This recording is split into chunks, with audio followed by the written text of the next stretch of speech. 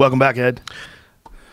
Good to see you again, man. Thank you for having me back. Well, I'm, I'm happy you're back, but I'm not happy that there was a motivation to bring you back based on the violence. You know, the violence that is going on between uh, the cartels and it was the Mormons, and then there was we were just talking about this uh, other person that got shot because they ran. What would you explain that again? They ran a cartel roadblock. Yeah, basically in Tamaulipas, a lot of the cartel groups actually make uh, uh they build their roadblocks in the, on the uh, state and, and local roads.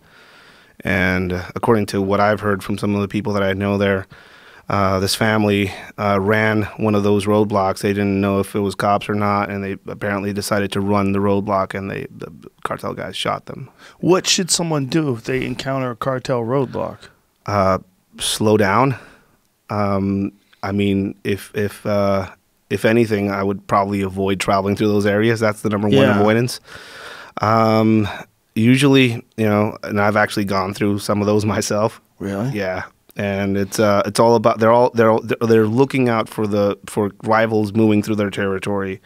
They're looking for government personnel, maybe spying on them, and uh, usually it, usually they'll just shake you down for some money and they'll uh, let you go on your way, unless you have a four x four truck that can use for their you know their own purposes, which is Oh, what they might take your truck. yeah, uh, uh, specifically in Tamaulipas, uh, four x four trucks are a commodity for them. They use them for their ongoing you know, turf war. Oh, right. Especially someone else's that they don't mind getting shot up. Yeah, I mean, uh, most of the trucks that you see that are arm, up armored or they have the rifles on top are usually stolen vehicles. Um, all of them are stolen vehicles, and a lot of them are, you know, Americans crossing into Mexico. Some of them are Amer- Americans crossing into Mexico and just getting you know, the truck stolen. Jesus Christ, is that that's a real common thing? It's it's it's it's starting to be pretty common. Um, uh, I recently saw a case of an of an apparent abduction uh, in uh, in in Tamaulipas. Um, you see the video, and, and and the cartel guys come out of the car. They grab the the the the owner of a of a pickup truck. They get him out of the car. They take his cell phone, leave it on the sidewalk because they're they're aware of all the SOS technology, and they take him inside inside of another car, and they take the truck and you thought you know you would think you know it's it's because he did something or he's he's, he's involved in something. They let him go a few blocks later and just took the truck. It was all about the truck. Wow. Yeah, it's resources. You know, they're just uh, acquiring resources for their for their war, basically. Nice of them to let him go. Nice of them to let him go. You know, it's not always the case. It's not always the case, but it's pretty- yeah. I think most people in America are just now waking up to the chaos that's going on down there. I think that uh, the Mormon assassination was a real wake up call, but I think uh, people are paying much more attention now. I mean, we've we talked about this. When was the last time you were on? It was like five months. Yeah, something like that. a, a lot of the stuff we talked about those five months ago, uh, kind of, that's how things progressed. We actually Yeah. did mention the Mormon communities Yeah. down there, which was kind of eerie. Yeah, And uh, I, I, we talked about the possible designation of, of cartels as terrorist uh, ter- uh, terror groups. yeah. You you had an interesting take on that. So uh, Trump was saying that they were going to designate them as terrorist groups and that they were going to have military action against them. Yeah. and then there was some sort of negotiation with the president of Mexico. Like, what do you, what do you think went down there? So I mean, this is just you know, from what I see and from how things traditionally happen down there. Mexico's currently uh, has a current currently a, a leftist president down there. He's very to the left, uh, so much to the left that he uh, he recently gave Evo Morales, the deposed leftist uh, president of uh, uh, Bolivia, asylum in the country. Um, and there's been a lot of you know pro left political stuff going on in Mexico, basically. Um, as soon as the designation threat by the U.S. came down, there was uh, some sort of negotiation, and a lot of things happened after after some U.S. officials went down there and talked to the government. Among them, Evo Morales is out. He's uh, he went to Cuba apparently, and then went to uh, Argentina. So he's not going to stay in Mexico. Uh, former head of uh, of uh, public security under the Calderon administration, which is two administrations past. The President Calderon is the one that started the drug war. He was uh, arrested for cartel involvement and uh, basically receiving money from the cartels. I saw that, yeah. Um, he was going through his immigration process, and he was actually asking for full citizenship, and they got him on lying through the authority, the immigration authorities. He said that he never received money from the cartels, and apparently he did a lot of it. Right. So all these things happened after, after they walked back the threat of uh, of uh, designating cartels as a terrorist organization. So there has been some action. So they must have made some negotiation where Trump had said, "Listen, we're going to do this," and he said, "Hold up, let's let's talk." Yeah, I mean, a, a main thing is a more. Uh, one of the things that this uh, current president, uh, Andres Manuel Lopez Obrador, ran on was uh, creating a national police force, right? Like, uh, a national guard is, is what he calls it, which had already kind of been done before, but you know, change the name, change the uniform, change the packaging, and it's a new thing, right? Uh, he wa- he wanted the army out of the drug war because the casualties uh, were mounting on both sides, and he said it wasn't a military, uh, uh, it shouldn't be a military operation. And he ran on a platform that was called Abrazos no balazos, which means hugs, not bullets, right? So oh, basically, Jesus Christ! amnesty for the cartels was basically kind of the main theme of that. Um, so he got into power. The first thing he did, militarize police forces and create a national guard, and dissolve and tried to dissolve the federal police.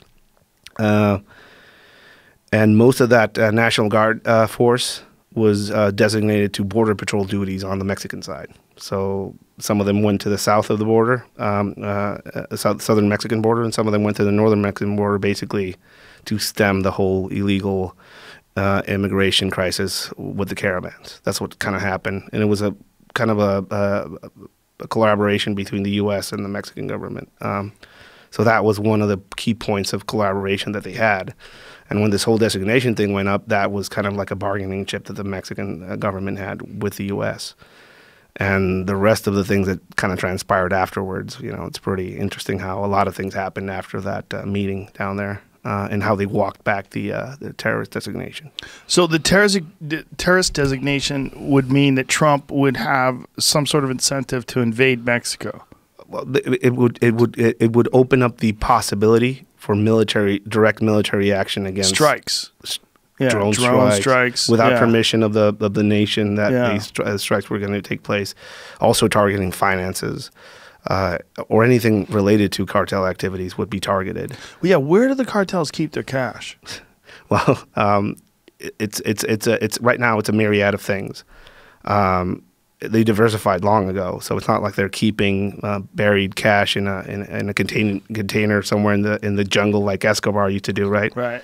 They're still finding some some like rotted cash from the '80s.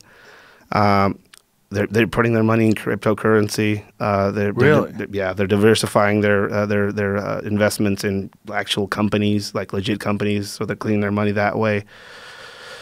Um, real estate, hotels, uh, property on the U.S. side. So they're also investing on the U.S. side of the border as well. So you know, money's it's it's not you know it's not under the mattress or you know giant stacks of cash in a room But somewhere. what what kind of banks do business with the cartels? Like, Well, how do they negotiate that? I'm not going to say names, but there's No. been a few cases of pretty large banks that have been involved in, in, in uh, money laundering for the cartels recently. and People can look that up easily. Mm. But you would think you would have a designate cartel. Uh, you would have cartels designated as terrorists. So now there are banks involved in funding terrorism. So that would change things. That's you know, there's a lot of things that would happen. You know, some some of these consequences. You know, people talk about yeah, designate him as a terrorist and send drones down there things that they kind of don't talk about is that if a terrorist designation does happen, uh, most people seeking asylum in the U.S. from Mexico now have the claim of uh, of running from terrorists in, in Mexico. So so they can Oh. so now they can claim that as far as uh, uh, you know asylum seeking people can claim that now. It's a different thing. Um, you know the the main argument that a lot of people say is that cartels aren't uh, can't be considered a terrorist uh, terrorist group because they don't have political aspirations. The problem with that theory is that we have a lot of political killings by cartels in Mexico where they shoot the candidate of one side of the political spectrum because it's not good for them. So they influence politics. They also pay off a lot of politicians down there. Um, and they also, uh, examples of the new generation cartel from Guadalajara giving out uh, Christmas gifts or groceries to the poor, basically doing hearts and minds type tactics in the area, are clear political movements, right? Yeah. So you know, How does it? Ter- uh, why does terrorism have to be connected to politics? well, That- that's that that's seems- classical. The classical definition of that is uh, of a terrorist group. That's what they're basing it on. I think the cartels and, and, and, and narco terrorism is a thing in and of itself. It's a new phenomenon. It should be terrorism should be reclassified to include it. I think you know most people that live through that type of situation in that type of in, in that type of area in the country facing some of these cartel threats that have fled it will call it what it is. Yeah, it's They're- terrorism. Terrorism. They're terrified. Yeah, I mean, that's literally. I mean, who's more terrifying than the cartels? yeah. Well, Um, so what's going on with the Mormons now? Is are they moving out of there now? Are they going to go back to Utah and just take one wife? Like that's what it all started out with, right? Yeah, well, the fundamentalist group, and they, they went down there and kind of proceeded with their customs. Um, I'm in contact with a, with a few of the members of that family, and you know, I was in contact before, but when I went on here, they kind of like one of them reached out, like, "Hey, what's going on?" It's like. Help "Hey, us out. what do we need to do? Yeah. Um, but then, you know, it was like a friendly hello from them from past interactions, and then this happened. And you know, I kind of advised a little bit, but that's you know, that it's it's a mess. Um, a lot of them, a lot of them are leaving the communities down there. There's a lot of them down there. A lot of communities uh, in Sonora, Coahuila, uh, and um, you know, they're leaving. They're leaving the area. It's just too dangerous. Yeah. yeah, it only makes sense. Uh, I mean, they just don't have the arms. They don't have the the, The- the- tactics, manpower. uh, and and they're also in the middle of one of the most important regions in Mexico right now um, for a lot of reasons. Main thing is uh, there's two things that are really really kind of happening in that region. One, the traffic uh, the trafficking of fentanyl and heroin and all these drugs through one of the main drug routes up into the U.S. And there's a few factions fighting over that uh, region, Los Salazar, which are a small cartel faction that has allegiances to Sinaloa cartel, and the Linea cartel, which has historically been in control of uh, Ciudad Juarez. So they're both kind of vying for control of the area. Uh, a few hours before the, the, the massacre actually took place, there were a bunch of firefights between these two factions in the area. So one of the main theories is that these uh, the, this group of uh, Mormons basically were case of mistaken identity, kind of driving into some of the areas where they're being protected by some of these people. You know, it's one theory, right? Um, the other thing that people kind of need to think about is that the largest mineable uh, mineable deposits of lithium on the planet right now are a few hours away from where that massacre took place. Really? Yes, and that is, you know, I'm not conspiracy theory theorizing here, but it's a pretty important thing in that region, and there's a lot of interest in that space and control for that space. And they're not mining it currently? there's pro- there's a bunch of projects in play right now. Oh, Um, so they've identified the deposits. uh, yeah, you know, people can look up the numbers, but it's it's the largest mineable deposit of lithium on the planet. Whoa. And there was some sort of deal uh, in the past where a Canadian mining agency was going to have rights to it, and the mining agency was bought by the Chi- by a Chinese company. So, again, after that massacre, a lot of things happened. A lot of the negotiations happened. That pro- that deal was one of the things that got killed after that situation. Oh no. Right. So it's it's it's it's it's an interesting area. There's a lot of things happening there. That's got to put a tremendous amount of pressure on the cartels in some way, right? Well, uh, historically, any sort of uh, any sort of mining operation usually has industry around it, which is perfect for the cartels. You know, um, uh, extortion, protection rackets, um, f- uh, feeding the the uh, drug use in the area from the workers. You know, that's Is there any way that you could see in the future the cartels being extracted from the positions of power that they're in now? I mean, or is this something that people in Mexico are going to have to live with forever, and I guess people in the United States as well? Or is this something that could be fixed? um, you, you you've uh, you've you've talked about before in some of your podcasts, and I you know I listen to them a lot. It's a great podcast. Thank my you. favorite. Great when Um, you're on too. Thank you. Uh, but you talk about legalization and how that would help. That definitely is part of the solution, and it is. It is definitely part of the, the solution. Legalizing some drugs. You know, not all drugs are made the same. Maybe not fentanyl. You know, but yeah. but that would help out some things. Um, there's uh, there's multiple things that could be done to to guide us towards a place where things could stabilize down there, and a lot of it is not going to be able to be done in Mexico. It's going to have to be done up here, right?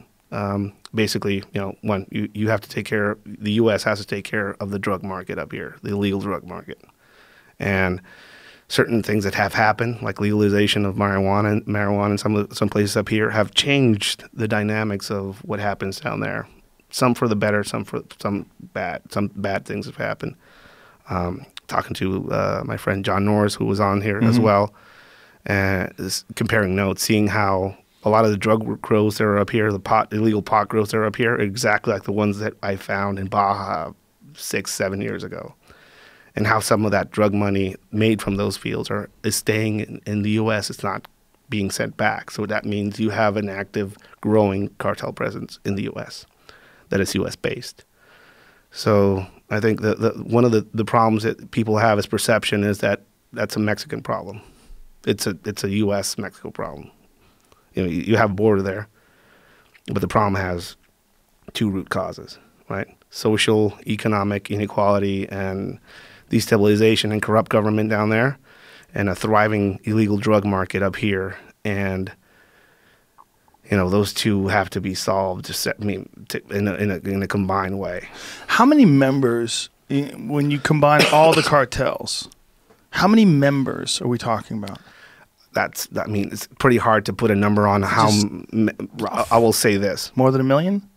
I will say this: they defeated the Mexican army in Sinaloa. Yeah, that was bananas. Yeah. When they captured El Chapo's son. Yeah. And then the army gave it back. Yeah. They're like, yeah, you can have him back. Well, sorry. Uh, the, the, that whole situation, uh, and it was like I, I remember that was happening, and I was getting asked questions about it, and it was live. It was all yeah. of, all of a sudden just popped off, you know. Um,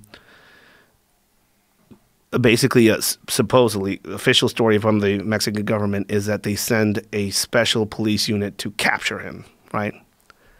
Which is completely false, I think, because you don't send 35 agents to capture one of the the heads of one of the biggest Sinaloa cartel cells, right? So it's pretty much uh, by chance they spotted this party. People were armed there. They went there. All of a sudden, El Chapo's son is there. So you think they just stumbled into him? There's a I, I posted a video on my, on my feed of the capture of, of the of, of uh, El Chapo's son. You can see it, and you can see the surprise and really how the agents are kind of uncomfortable or are fearful of what they just stumbled on. Um, imagine U.S. agents stumbling on one of the um, America's most wanted individuals up here. They're going to put him on the ground. They're going to handcuff him. Mm-hmm. In the video, you can see that they point their rifles at him, and he calmly takes out his gun and hands it to somebody inside of the inside of the house he was in, and walks out and kind of tries to negotiate with the people outside, the federal agents that are trying to arrest him. And you can see that the agents are like, "Oh, what did we stumble in on?" Oh. Right. So that happened. They grabbed him. They reported back to Mexico. They captured him. They started to announce the capture. And his brother, um, uh, his half brother Archivaldo basically called in all of the reinforcements from all surrounding towns and regions in Sinaloa, and it was flooded with a bunch of armed cartel guys.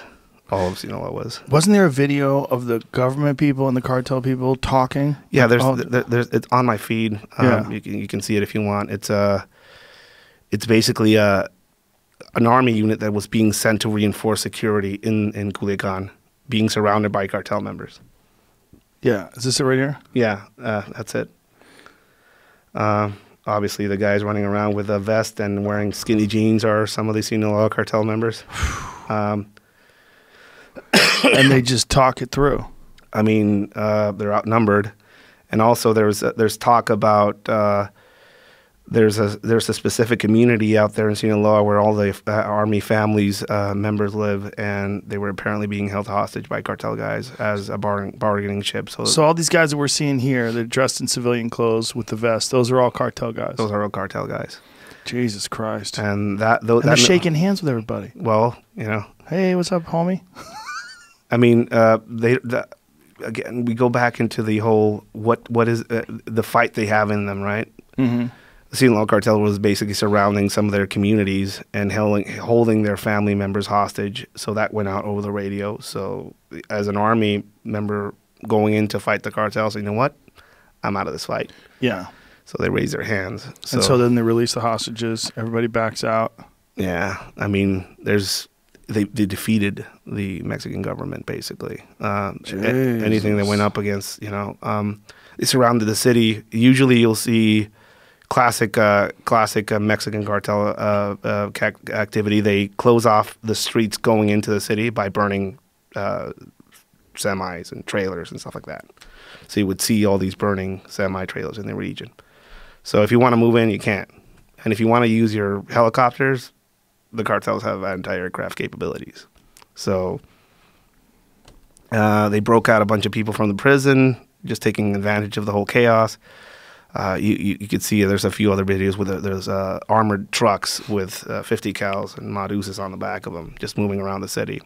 There's no way. There's no way you can. This is the breakout state prison. You know, took advantage of the whole chaos and just you know, let, just let's uh, let's break some of our friends out. All right, so just pure chaos. Uh, eventually, they let the, the government decided to let him go. That's the, the official story. But according to the people there, there was no government saying let him go. There was like the guys holding him said, you know what, it's not worth it. Yeah, that's one of the uh, the uh, technicals as they call them up here. yeah, dump trucks. They armor plate the sides and you know, put somebody out. God, imagine being a person living there. Well, that's that, that's what I'm trying to picture. Like Yeah. what life is like for the civilians. And most of these videos are all done you know, by civilians. So Yeah. there- there's a certain normalcy in some of these cases, especially in Sinaloa. It's part of it's, it's, it's part of the uh, culture there. And as far as sides go, you know, hey, the army's coming to save us. That's not usually what some people in some of these communities think, you know, because the cartels are, those are the guys in charge. So Sinaloa always been like that. Like how long has it been? Sinaloa has traditionally been been a, a cradle for like the origins of some of the hot, some of the more successful cartel uh, heads, right? Isn't that where Julio Cesar Chavez is from? Yeah, yeah, Yeah. he is. Yeah, and um, you know, uh, lot lots of uh, lots of anybody that's anybody in Sinaloa has some sort of relationship to the cartels because they're part of culture there. There's just Wow. no way getting around it.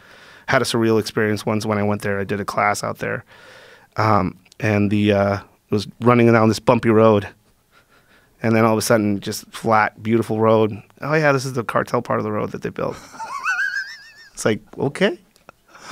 Uh, wow. So it's like sort of like the mob in Vegas in the in like the 50s and 60s. Exact, exactly. But it's now, and they're Way more hardcore. way more hardcore. You know, Yeah. some some of their grave, uh, gra- they have a uh, Jardines del Humaya is called is, is the uh, narco cemetery they have, and it's basically luxury condos. They look like. I mean, I went there. I thought it was a church, and it turned out to be a tomb. Wow. Right. So the the opulence and the money there is just overt. You know, and and how they move around. They roll around in vehicles with guns, and nobody does anything because they own the city. What can be? What are they planning on doing? Does anybody have any plans, or is it just they're just accepting this? well, you know, you, you, you, get a lot of rhetoric about uh, collaboration. Yeah, that's that's Jardines del Humaya. All of those are graves. Some of them have Wow. CCTV video inside, air conditioning, you know, alarms. Those Yeah. are graves. Those are grave sites. And the cartel guys' uh, heads go there and on the Day of the Dead, have music, live bands, shoot their AKs into the air. Nobody does anything. Wow. Jesus Christ, this is crazy. Yeah, I mean the opulence is amazing. I mean, uh, to just seeing it, you know, it's a, it's like having several Escobars in one place. You know, it's not. You know, it's, like a lot of car, a lot of uh, cartels uh, heads are from that region, and a lot of their kids grew up in that. And you know, the opulence is amazing. Fuck. Like, is this gonna grow? I think it is, and it's. I mean, I don't think it is. It is growing. You know, again, uh, going back to my friend John Nores and having seeing his experiences up here, uh, finding all these illegal drug grows in in, in, in in public lands. It's growing. It's growing over here too. Yeah. So you Roots. yeah. So um, th- a thing that a lot of people have to think about. A lot of these cartel guys had their kids up here, so they they made their money down there and they sent their wives up here. And a lot of these kids that were born in the late '80s, early '90s, are coming of age up here with that cartel pedigree. So and they're U.S. citizens, U.S. passport. So you're, you're gonna you're gonna see some sort of shift and you know they're coming of age. You'll get experience. You get you know a handoff of reins from the older generation to the newer generation. You're going to see definitely it's definitely growing. It seems so crazy to watch because it seems like it's not discussed nearly enough, and it it seems like if it, if it keeps getting stronger, like what we saw with El Chapo's son being released, like what it, what's to stop it from taking over Mexico entirely? Well, I mean, you, you, you would have people arguing that it already has in, in different ways. So I think another thing that people kind of have to kind of figure out and realize is that there's factions in Mexican in the Mexican government. So you will see a federal government that apparently is being paid off by a very specific large cartel group. And then you'll see state governments that are of different political uh, party influenced, uh, paying off by other cartel uh, groups. So you'll see, you know, military units moving on the town and the state police blocking their way to get in there because they play for different teams, right? Whoa. Um, you know, there's a, there's a lot of talk right now about uh, Felipe Calderon's tenure and how his head of secure, uh, head of public safety was on the payroll of the Sinaloa cartel, which actually came out uh, during El Chapo's trial. So now you're talking about basically a federal police force that was on El Chapo's side. So he had free reigns to grow and do whatever he had to do in that region with the support of the federal government in a way. So technically, you know, who's in control of some regions. And, and realistically, some regions of Mexico are completely in cartel control. Now, we discussed this on the last podcast, but let's give people a, a little, just a recap of this, just so people can understand your position. When you first started working on for the, with the, the Mexican government with this, it wasn't like it is now. Uh, it was it, so.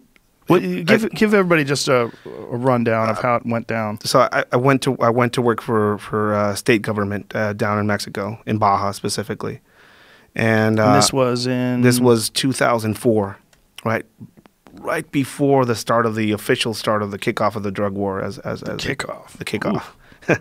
Uh, but there was, you know, th- the official start was when Felipe Calderon came into office and said, you know what, gloves off, we're going to go after the organized crime, right? We're going to send the military into into this onto the streets, and they're going to head up spearhead uh, operations against the cartels.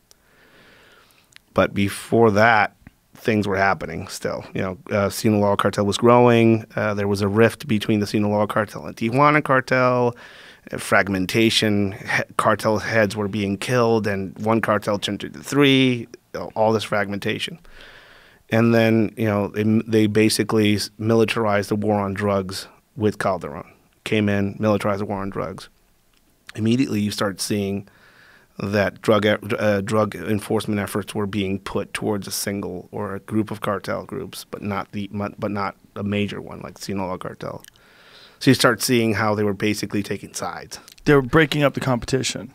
That's what you would gather from and making know, it look like progress. Yeah, yeah. and and, oh, and also. Uh, El Chapo has been built up into this mythical figure, like he was the head of the Sinaloa cartel. He's the main guy. That's not true at all. He was an operator for the Sinaloa cartel, but not the main operator. You know, there's different theories and and and, and uh, about who is actually who was actually in charge or the brain behind the whole operation when you say Sinaloa cartel, it's not one group. It's several. Uh, it's a federation of several criminal groups, enterprises uniting and working in conjunction to put drugs into the into the United States. Well, one of the things they do is put drugs into the United States. They do a lot of things, but that's one of the things they do. So you know, certain people. There's a lot of people out there that theorize that El Mayo Zambada, which is El Chapo's compadre, who's still out there, is the actual head of the Sinaloa cartel and has been since the start. Uh, but you see how some of these people become celebrities, and as soon as somebody becomes a celebrity like El Chapo, who escaped from you know custody a, f- a few times, you know under you know pretty interesting situations. Uh, I mean, it's pretty interesting uh, uh, situations. Uh, now the government has a celebrity they can go after, so they can point at that guy. That guy's, a, that guy's a bad guy, right? So you saw a lot of that, a lot of theatri- uh, theatrics around him, as far as him being the head of whatever you know group or operation was.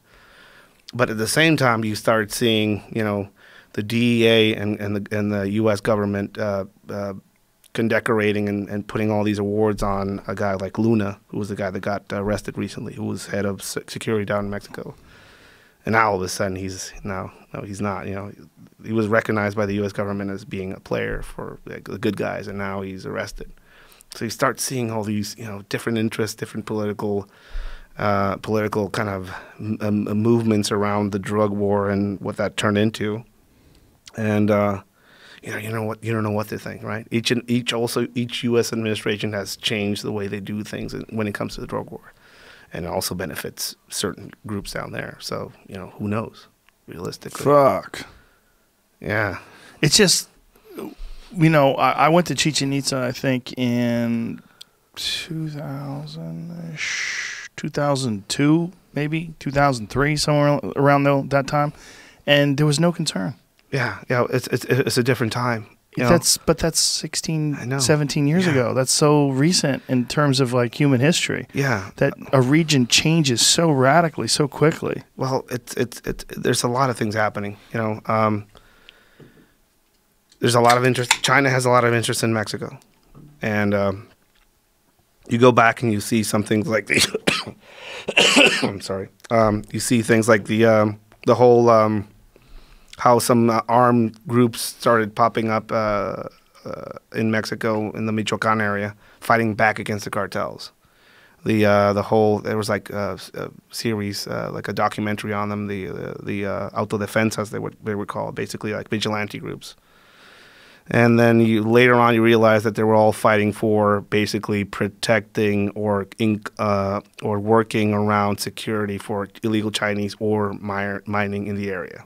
Whoa. Yeah, it- it's it was all about uh, Chinese ore mining, uh, iron ore mining, illegal Chinese ore mine. mi- So the mining. Chinese ore miners, they just made a deal. Yeah, and then you know uh, we can get in on it. So let's arm all these guys, and we're we're, we're protecting our communities. But there were, you know, there was a lot of that going on. Not all of them, but a lot. Of, there was a lot of shady stuff going on in the region uh, when it comes to that. Now you see things like the stuff that's going on in Sonora, and there's a lot of lithium there. That's a pretty valuable thing, you know. Yeah. Sonora is a place that a lot of hunters go. Yeah. Sonora has these big hunting ranches, and it's like it's famous for giant mule deer. Yeah, yeah, yeah. It's I, I've been up, out there hunting myself, and it's a it's a beautiful it's a beautiful part, of Mexico. But that seems like a sketchy spot to it's- it's- venturing It's into. it's perfect because it's uh, it's perfect for them because it's rural, so there's Yeah. nobody around. Uh, But if you were like a guy from Texas wanting to drive your truck down there, do a little hunting, I mean, my, my recommendation is this: if you have a four x four, don't don't take it down there. take Yeah. a, a fucking Yugo. but we do have the largest population of American citizens living outside of the country in Mexico for some reason. So Really? yeah, in all throughout Mexico. yeah. I mean, all throughout Mexico. Well, There's- it's fun certain- down there. Well- th- a lot of people like Cabo. People love Mexican food. Yeah, uh, You know? yeah, yeah. There's there's there is there's a certain chaotic freedom in Mexico, which I, you know, being some a child of Mexico and then moving up here and seeing you guys talk about freedom, uh, not, that free. But but there's there's I, I- I get the I get the draw, you know, and some of these communities down there are pretty safe, uh, but some aren't, you know. Uh, They're safe until they're not safe. and safe until they until they all of a sudden you're in the middle of a some place that's going to be disputed, which is I think is something along the lines of what happened to some of these Mormon communities down there. Mm. You know, you're on you're you're in the middle. Your community and your movements are in the middle of our route. Could you please get out of the way? What's the ceiling on this? Like, if if they can, can continue to grow, I mean, it's it's really. Is it possible that we're looking at a country that might be completely run and overrun by criminal organizations and drug sellers? Some parts of it are already. Yeah. So you, what I think is going to happen is you, you'll see escalations. Uh, a clear sign or a clear group that is like a like a s- a, a sign of things to come is the uh, is the new generation cartel. The new generation cartel is a cartel that was uh, it used to be called Los Matazetas. It was basically a, a, an armed enforcing group that Sinaloa cartel made to go after their main rivals, the Zetas, which were originally members of special Mexican special forces that said, you know what, we're going to be cartel guys uh, now and cartel enforcers now. So they whole sordid history. Um, these uh, it, it was a militarized group that was formed formed to go after them, right? And their whole kind of play was that we're going to be against extortion, against abducting people, against affecting the community. We're going to enforce the law in our communities, but we're also going to move drugs through here, right? But that you know that's kind of their thing. So you see this uh, group start kind of growing in the region, and right now it's pretty big. It's rivaling the Sinaloa cartel as far as power and, and, and reach. Uh, but the way they do their things is militarized. It's very militaristic and kind of paramilitary, and, and it, it kind of reminds me a little bit about of the like the uh, the FARC groups in Colombia. Hearts and minds, they go into the communities, the community policing in the area. Uh, they originally said, you know, we're aware the government wants to fight drugs here in the region. We agree with their fight, but we are also going to fight against these guys that are affecting the community as well and they have like groups of people. They have uh, they have training camps, militaristic training camps, where they recruit people. They take them there, and they're being trained in guerrilla warfare and shooting. And apparently, there's some SF guys from the U.S. that that advise them. So that's the that's the next thing. The ex the the, the escalation of a simple ragtag group of cartel guys enforcing a region to an actual cohesive paramilitary group now trying to vie for control not just of the of the drug routes but also of the populace and the confidence that the populace has in them so it could turn political at some point right That's, It just seems like it's the genie's out of the bottle. it is, I mean it is I mean it is in a lot of ways you know um, and going after it just as a you know drug enforcement issue is not you know it's, it's, It's it's so a- much bigger than that. Yeah, it's uh, cultural. It's uh, economic. You know, some of these kids. I, I posted up some of these uh, cartel soldier kids. are 12 years old. Uh, Gold-plated guns. gold-plated guns. You know, uh, they don't have an op- They don't have options in their lives. Right. It's, it's that or nothing. Right. So it's either awesome life or yeah, short awesome extreme life. poverty. Short awesome life. Yeah, or short awesome life or extreme poverty. So Yeah. that's one component to it. Another component is systemic corruption as a society from who knows when. You know, it's always been a thing in Mexico. People that grew up down there, you get stopped at a, a red light and you're like, uh, can I pay the fine here? You know, people that are Yeah. from down there will be aware of this. Yeah, show you show the paperwork, you slide that thing in there. You know, that's you know that's part of the culture. That's affecting a lot of things as well. You know, people don't pay attention to the small rules, so the big rules don't matter, right? Um, and just being next to the largest drug market on the planet, you know, and having money, firearms, uh, rounds going down, and fentanyl that is being fabricated in Mexico now, and some of the Chinese fentanyl making its way through into the U.S., kind of filling the voids that some of the uh, the drug market has right now. So they're making fentanyl laced, fake fentanyl laced pills that are going to they're being put into the U.S. and fentanyl, laced heroin, right? So that's where they're going towards now. That's why you see this epidemic up here. And a lot of things traditionally kind of focused on uh, pot before it was legalized in a lot of regions up here now is heroin and fentanyl. So it's actually kind of accelerated the production of the more harmful and dangerous drugs. In in some ways, yes. I mean, they had to find another. You know, it, it was it, it it went pot, uh, meth, and now fentanyl laced heroin or fentanyl laced pills. See, and the problem with the idea of uh, legalization is that if you tried to be the person who says, "Hey, folks, we need to legalize drugs here in America because we've got this problem with the cartels," politically, that's suicide. Yeah, No, no one. I mean, even though it's probably right, it is. I think it is. I think it is very right. it's one of those things that's so counterintuitive that most people are going to go, "You're crazy. You're going to make my kids hooked on drugs." Well, uh, well, I'll say this: I, I was I, I fought in the drug war. I literally a drug war veteran, Yes. and if I had a white flag, I would hand it over to you. You know, it's like I that it's, it's a useless fight. I I got to destroy pot fields. Realistically, thinking about all the effort and all the blood, I'm like, it's just pot. yeah, and it's so quick to grow back. I mean, It, that, it, Yeah. it, it is it, it is a fruitless fight. Fentanyl, uh, heroin, maybe different drugs, yeah, uh, fentanyl in particular. Is, uh, but a lot of that fentanyl is coming from China. Mhm. It's not a Yeah. Mexican thing. Oh yeah. And a lot of the people that are making uh, or pr- producing fentanyl in places like Mexico are from China, setting up laboratories in Mexico. So, so it's a it's a Chinese Mexican U.S. problem as well. God damn. What can be done other than the legalization? What can be done? I mean, how does, in, unless the United States literally goes to war with the Mexican cartels, and you you made a face talking about that. I, I mean, I, I'd say designation is one of. I, I think designation should. It's it's going to happen.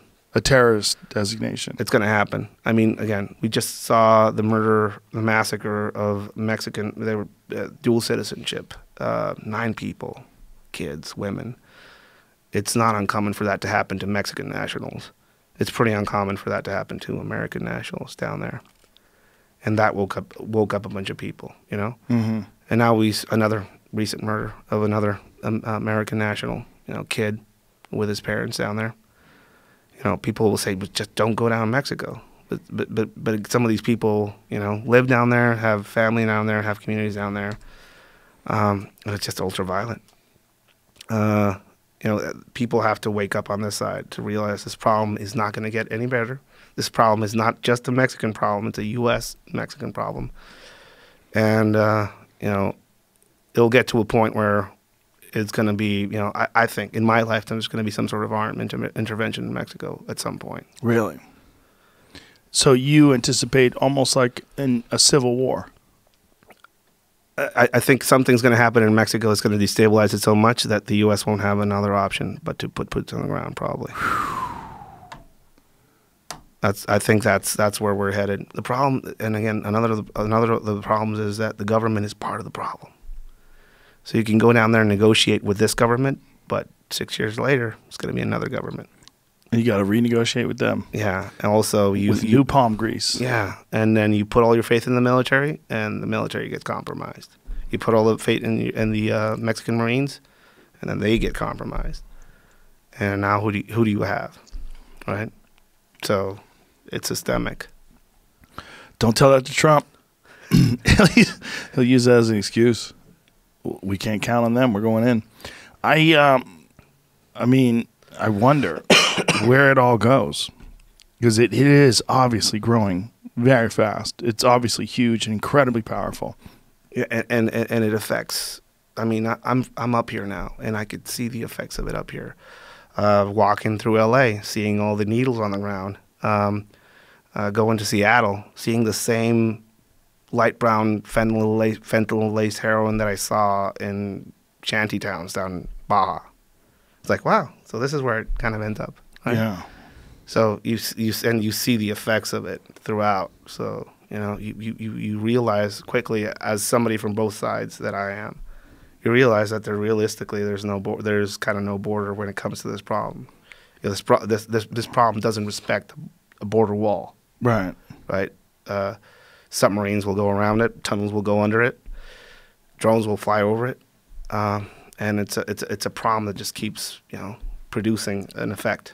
And I think the majority of the United States citizens are completely unaware of the complexity and the depth of the problem. Yeah, I mean, it it, it, is. Well, it, it, and it's also. I think most people eh, seeing the Iran thing right now. Most people know more about that. Oh, yeah. going off, going on halfway across the world Yeah. than what's going on just you know a few hours. That's what's crazy to me. It's like, you know, we're we're into invading countries that are really barely affecting us. They're like a 17 hour plane flight. Yeah, I, I think uh, I think the uh, I don't know. Again, I don't I don't want to be Ed Adamas and you know predict stuff, Edadamas. but uh, the the fact that we have a lot of lithium in Sonora is going to be a factor for a things that get- reason to clean it up. It should be. You know? Should be. It's pretty important. It's a pretty important resource. Yeah, but if they can't hold on to El Chapo's son, how the f- That's that's why I think uh, U.S. Gonna, is going to have to you know put foots on the boots on the ground down there. Wow. Now, if you had to make a bet, like if there's a betting line in Vegas, like how many how many days or how many years from now will there be American soldiers deployed to Mexico? I don't know. I, I'd say five years maybe. Whoa. Within five years. Really? I mean, we we are on. We just passed this. This past year has been the most violent year in Mexico in recorded history, Really? and it's the first year of administration of this new president, right? Who's been trying to Hugs. hugs, uh, hugs, not not bullets, abrazos no balazos. You know, this instead of that. Uh, his, it's been his first year, and you know, hey, give him a chance. He's he's he's, he's doing whatever he needs. It's only the most violent year in history. Yeah. Cut the guy a break. exactly. That's what they say. But then I go down there, and I have a lot of a lot of my friends that are still down there, people that I've trained uh, still down there, and I hear from them directly. Like I have some uh, young kids that are in the Gendarmeria, which is like a federal police force that uh, patrols all of Mexico, and some of the federal federal police guys, they tell me like Ed, we're we, they, they they said or you sign the new contract to be Guardia Nacional, and lower your pay, and all of your all of the stuff that all of your benefits will be gone or you just stay on here in limbo and just stay at the base. And a lot of them are staying at the base, so it's nothing nothing's nothing's nothing's being done. Well. I imagine that if it seems overwhelming and it seems helpless and it seems like the cartels are just taking over and they're making a shitload of money and you're not making any money. I mean that that is the real crazy thing about it, right? There if the the government is asking people in this sort of already compromised situation and environment asking them to work for a small amount of money to go after people that are making a tremendous amount of money yeah, and you're going to be at war with these people and these people they're basically your neighbors yeah, and also you go there with a federal uniform as part of the federal government. You go into a community where you, the federal government doesn't do anything for them. right The church is made by the cartels. cartel made the road Christmas was brought brought to you by the cartels. You know, um, th- they they are the good guys. So these guys come in here like, who are these guys? Like, what are they doing here? We're not gonna. So that's you know, it's it's it's it's it is it's it's it's a mess. It's a mess. wow but could boots on the ground actually fix anything I mean, I'm not a I don't, I'm not a I'm not a military expert, uh, but uh, there has to be some sort of outside force that is completely uncompromised by cartel uh, money and influence. how And- long before they compromise those people Well, uh, when you put the Marines on the border, uh, a few of them got picked up on smuggling people uh, from the border. So, yeah that's what i'm saying know, who knows? Uh, it, it's it's and it's also it's a different war field because a lot of you know a lot of our war fighters and law enforcement are have some sort of blood ties to Mexico. Mm, of course. Well, And- not only that, I was just watching some uh, video where there was this guy who uh, is a U.S. veteran, been deployed overseas, fought for this country, and his mom was getting deported, and he said he felt betrayed. Like here, here he is in America. His his mother brought him over here, had him over here. He's a U.S. citizen, and they're deporting his mom as if his mom was a, a danger or a There- problem. There's a community of, of Army, Marine, and several veterans that are deported veterans that live in, in places like Tijuana. That's fucking crazy. Uh, That is know, fucking crazy. You fight for the country, man. You get a DUI and you're. But how nuts is that? It is pretty nuts. It's fucking ridiculous. You Uh, fight for this country. You you literally risk your life. And there's assholes out there that haven't done a goddamn thing, have been mooching off the system forever, and they're citizens, and you're not. Yeah, I, I mean, my perspective and my life m- life path. You know, when I came up here, I want I want to earn it, right? I don't know. I came up here motivated, want to do a difference, work, uh, and apparently, you know, I, I've had I've I've had some you know static in my in my endeavors. Uh, my kid was born in the U.S. and uh, parented. Her, mom's American, right? when I went to uh, to the hospital to pay for uh, the the the uh, insurance part of it, they laughed at me and said, "You shouldn't pay any of this. You're Mexican. You just can claim benefits." Right? That that that was in California. So I was like, oh, but I, I can afford it. No, you should just, just you should, there's ways around this, you know. and that's when I knew, you know, there's America and there's California America, right? California America is different. Yeah, California America is very different. It's a subtle blend. Oh, I mean, there's there's ways around stuff. You know, there's free stuff. You know, get it, get it, get at it. You know, you know, it's, it's, it's a weird. Yeah, again, I, I travel across the country, just get to experience different parts of uh, of the U.S. You know, I spent New Year's in Kentucky, and that's pretty interesting. Yeehaw! Oh, it's. I mean, I like it. You know, maybe um, it's like a it's like a white Mexico. Is it? Yeah. How Yeah. so? Uh, people were shooting guns into the air on, on New Year's Eve. That's pretty Mexican. You know. They do that in Texas too. Oh well, you know, again, you know, I don't know. It's it's a, it's not good. Some lady got shot. oh, it's She was completely irresponsible. standing in her driveway, a grandma Completely with her family, and the bullet fell out of the sky and hit her in the chest. Yeah, uh, when we when New Year's would come, we would park underneath the, the bridges in, in Baja to not get you know. There's uh, firearms are illegal in Mexico, and then you know. You see Yeah. tracing ra- tracer rounds just going off Oh in the my god! Like, trace around. okay, you know. Uh, it's it's it's again, Mexico is a weird place. You know, that's why I call it the upside down.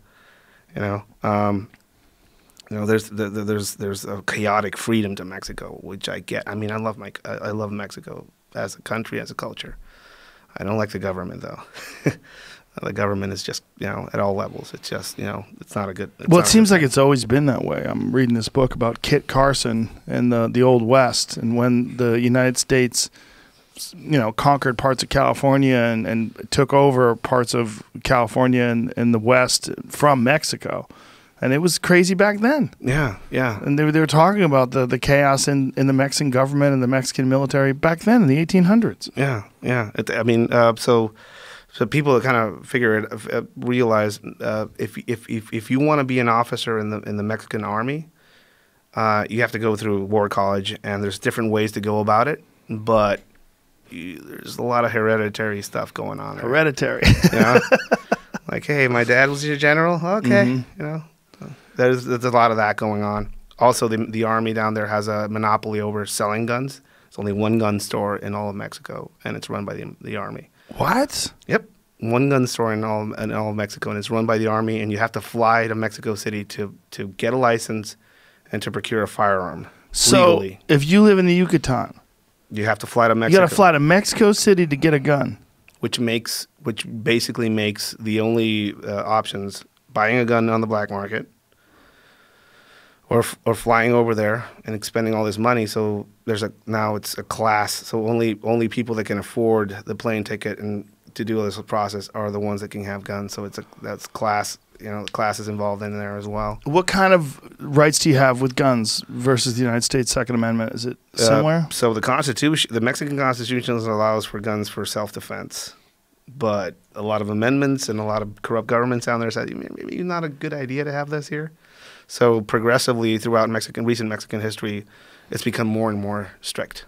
Right, certain rounds aren't allowed, uh, certain calibers aren't allowed, and this, the, the, just plainly the sale of firearms in all of Mexico is just relegated to a single uh, gun store in Mexico City. So you can't carry them without a, without a permit.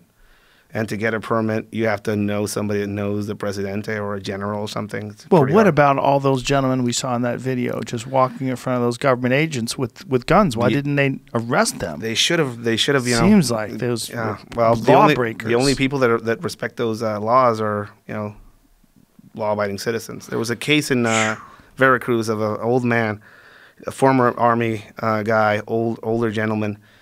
Uh, he tr- his son tried to get abducted, some something like that. He had this old Mauser rifle, and he shot dead one of the guys that was chasing him. He was trying to abdu- uh, abduct him.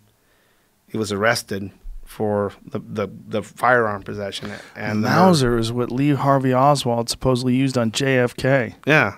That's an old ass gun. Well, there's a lot of weird old ass stuff down there. You, we, I, I mean, as far as the stuff that gets handed over, or just the weird exotic firearms down there, uh, a, a lot of people call Mexico the U.S.'s garage, and like the like garages, you just find weird stuff down there, from old World War II era pistols and explosives to uh, new stuff. Like there's a, a friend of mine uh, that works for the government down there, told me that they found a bunch of.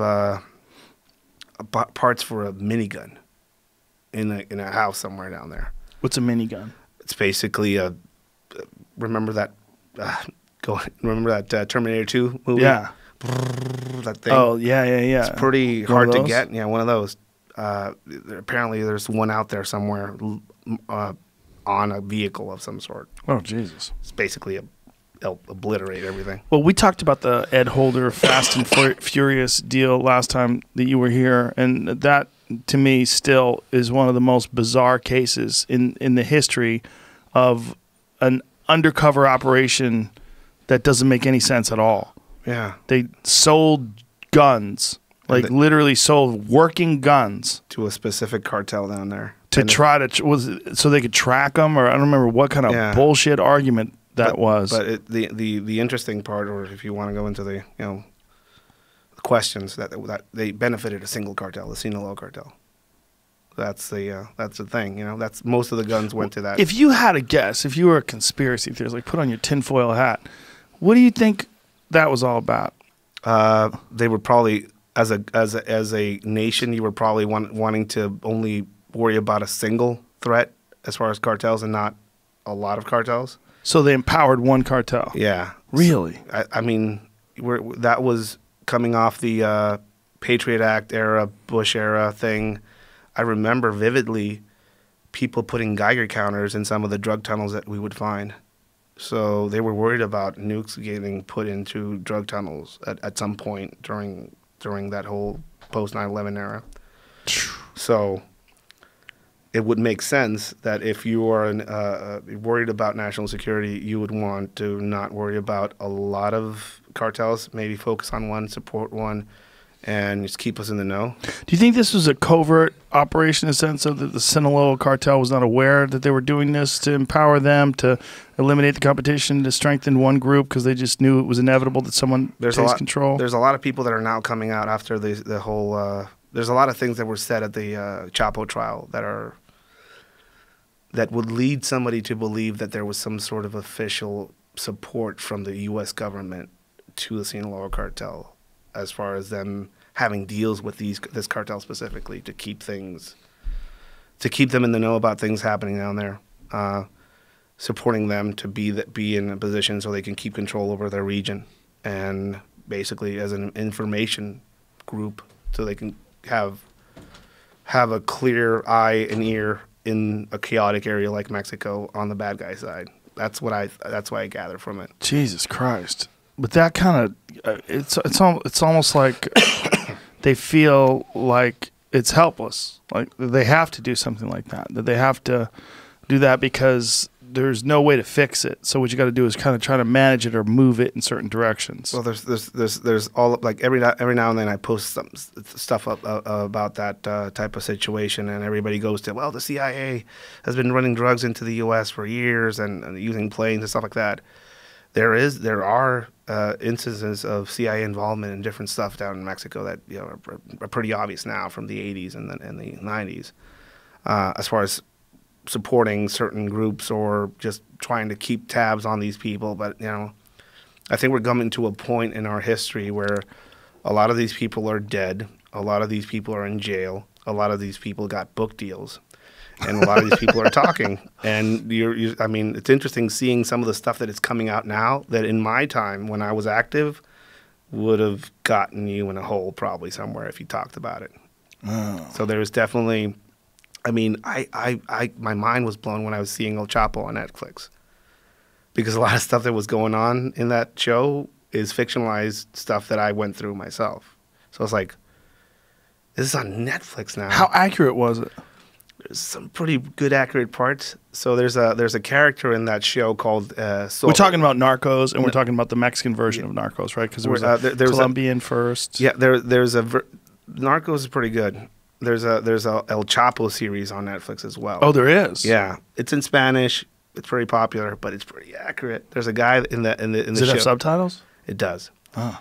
Uh, there's a guy in the show, uh, Conrado Sol is his name, which would nobody, which people were trying to figure out who that was. Is basically a government uh, guy that had a deal with El Chapo, and they both kind of escalated in power. It turns out it was Luna, right? So this show was showing him the character uh, El Sol, which depicts Luna as a corrupt politician that was working security, working both sides, and all of a sudden, you know, recently, a few months, a few weeks back, they arrested the guy. Wow. You know, so the show was kind of predicting Do you, do you think that the show had anything to do with him being arrested? I mean, it probably put it put the idea in the zeitgeist of people to ask questions. You know, Yeah. That's weird that shows actually do do that, like saving, surviving R. Kelly. That's what got him arrested. I mean, everybody knew he was it- peeing it- on people, and like fucking twenty years ago, he's peeing on little kids. but, you know, it, and now it gives people like. a- it, it's interesting. You see, you Yeah. see fictionalized forms of stuff that happened down there. The Narcos show as well is another thing. You know, see fictionalized things of Mhm. how some of these powerful cartel groups kind of originated themselves in fiction. And now that is in the public uh, kind of domain as far as collective knowledge. So people start asking questions. And some of these things, um, apparently, people in power also ask questions as well. Jesus Christ. it's just uh, it's so strange how popular it's become, you know, and it, it's such a uh, a popular focal point of fiction as well. And, and, and fashion. You know, Yeah. El Chapo's picture with uh, Champagne, Yeah, the shirt was Uh-huh. like fire. Everybody Beautiful. wanted that shirt. you know that uh, Conor McGregor like wore something to mimic it when on purpose when he was pro, in the press conference for Rafael dos Anjos. Did you know that? Yeah, I, I he even heard something about stood. He stood in the same stance. Like, look at him. Look at him. I mean, he's doing it on purpose. Yeah, that's- it's that's- like a subtle nod to El Chapo. Yeah, I mean, he's a, he, he, El Chapo has achieved legendary status. Now, for sure. Now his kid that uh, was freed by the the uh, the cartel down there, he was wearing uh, a scapulario, which is like um, you could I don't I don't know if you can see it in there. It's an interesting just piece of uh, uh, cultural thing from Mexico. Like, what is going on in this video that we're so he just here? handed the gun over, his personal gun over to one of his uh, bodyguards that was not even. These guys don't even care about him. This is a head head head, head camera thing, and they're you know, putting everybody out there. And personally, I would put everybody in zip ties and on the ground. Personally, So these guys all have guns drawn, and there's people inside with guns drawn at them. and They're they getting- realize they realize who they have now. So they're like, uh, should we forcefully put him in cuffs? Should we not? So how do you know that they're realizing this right? Is it because of the Bec- language? Uh, all of what they're saying? I've went through a lot of the same training that they went through, and I did a lot of this type of stuff, and all of them would have been in zip ties on the ground. Look at this girl went reached out and grabbed their guns and put their guns down. There's, compl- there's there's fear in these people. They realize that they messed up, Oh Jesus! right? So that's what you know people question. And are, are these streaming this video live? They they, they have the, On their the- head cams? They have a head cam and they're streaming it. Not well, it's not you know they they they they, they have Recording it, it. recording it, uh, and and it gets sent back to the command post. So when he was moving around, he had one of these on. This is a, a, a scapulario. It's called. It's like a religious Catholic iconography thing. What is Right. yours? What is it? Uh, this is a Santa Muerte one, right? It's like a holy death uh, effigy. So And he had that on. he had his was a Santo Niño de Atocha, which is like a uh, Catholic uh, uh, uh, Christ baby saint they have. As soon as that picture of him went on online, they were sold out all throughout Sinaloa. Everybody was wearing that. They have to work, you know. They work. Those work Because got him free. Got him free. There he is. There he is. That's the uh, that's the scapulario, Santo Niño de Atocha. Handsome guy. Yeah, that, that, that's an, also an interesting cultural thing. Uh, uh, the the occult part of it, where that that Santo Niño de Atocha shrine is right now, it's probably the most popular shrines in Mexico, or that one because they work. And then you go to the Holy Death shrines down there as well, and you, you see how how both sides, both Mexican government forces and the cartel, they they both venerate kind of the same saints. So it's that again, that's a weird kind of uh, thing. They share that faith. What is that picture of his truck down there, Jamie? You have some wacky truck? No, it's just a regular truck. Uh, I- That's his- So, uh, yeah, that's one of Oh, his. it's uh, riddled armored- with bullets. Uh, he gave out cars on Christmas. He uh, as a like he did this party who? to any uh, like townspeople where he was. How many cars did he give out? I have no idea. Like a lot of them. There's there's pictures of the uh, El Chapo's son uh, gives out cars on Christmas, and there's a bunch of cars there. You know, again, who who who are you? Like who who are you Right. gonna go towards him? Of course. or the government. You know, you give me a car, you don't give me anything. yeah, they they like you said, hearts and minds. They're really Hearts yeah. and minds, and and and uh, you know uh, they, they they they pay for col- college education. So, so there's a whole generation of lawyers, a whole generation of doctors. They pay for immigration uh, uh, procedures. So hey, you want to you know, yeah, I'll pay for your immigration, but you know I'm going to call in some favors later on. Okay. Wow, So that that's you know that's that's how that's how you grow. it's full on mafia shit. Yeah, I mean they they learned that, One day I'll come to you. Al Capone, Al Capone, uh, you know, Scarface, uh, you know, all these things are kind of venerated by them. That's kind of their cultural backing. They have pop cultural backing. Uh, they they kind of look to the mob era guys as influence or as inspiration. You see, you know, insane paintings of uh, the Godfather or or Scarface in some of these uh, safe houses where these people are, right? And you're like, wow, okay. Or you see cartel influenced uh, series for Netflix, like uh, there's one called La Reina del Sur, which is about a, a female uh, cartel head. Um, and the, the the lady that, that stars in that show was the one that took Sean Penn down there to meet El Chapo because El Chapo was Oh El no! Chapo was a fan of that show. Right. Really? Yeah. That's how it got going. When they finally caught up to him, he had the whole series on DVDs at his safe house, which is pretty. He, he humanized them a little bit. Oh my god! That that whole scene with Sean Penn going down there and writing a story for Rolling Stone was uber bizarre. Yeah. Well, if if they get the the terrorist designation, he basically went down there to meet with a terrorist. What happens to him then? Is it uh, retroactive? I don't know. I don't know. But they he helped get him arrested in in a sense, Well, right? he basically th- that whole commotion put eyes on on the movements of El Chapo by the Mexican government. Why would El Chapo agree to do something like that? He was a fan of the show. That seems so crazy, though. Doesn't it seem crazy that he was willing to take that kind of a risk? And take a photo with Sean Penn and that that actress. well, what's um, what's her name again? Ca- ca- ca- Kate, Kate del Castillo. Yeah, right there. He was Yeah. Chapo's probably banging that, right?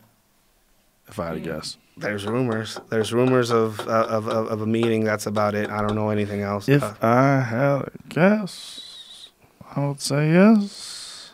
But it's just the whole thing. Look at Sean Penn smiling. Hey, here's my friend, the murderer.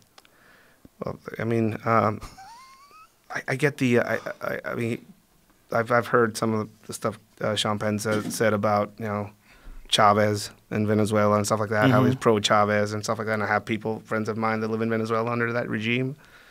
So he's he's a pretty kooky guy. Uh, he has some pretty interesting ideas about. He can't possibly be that informed.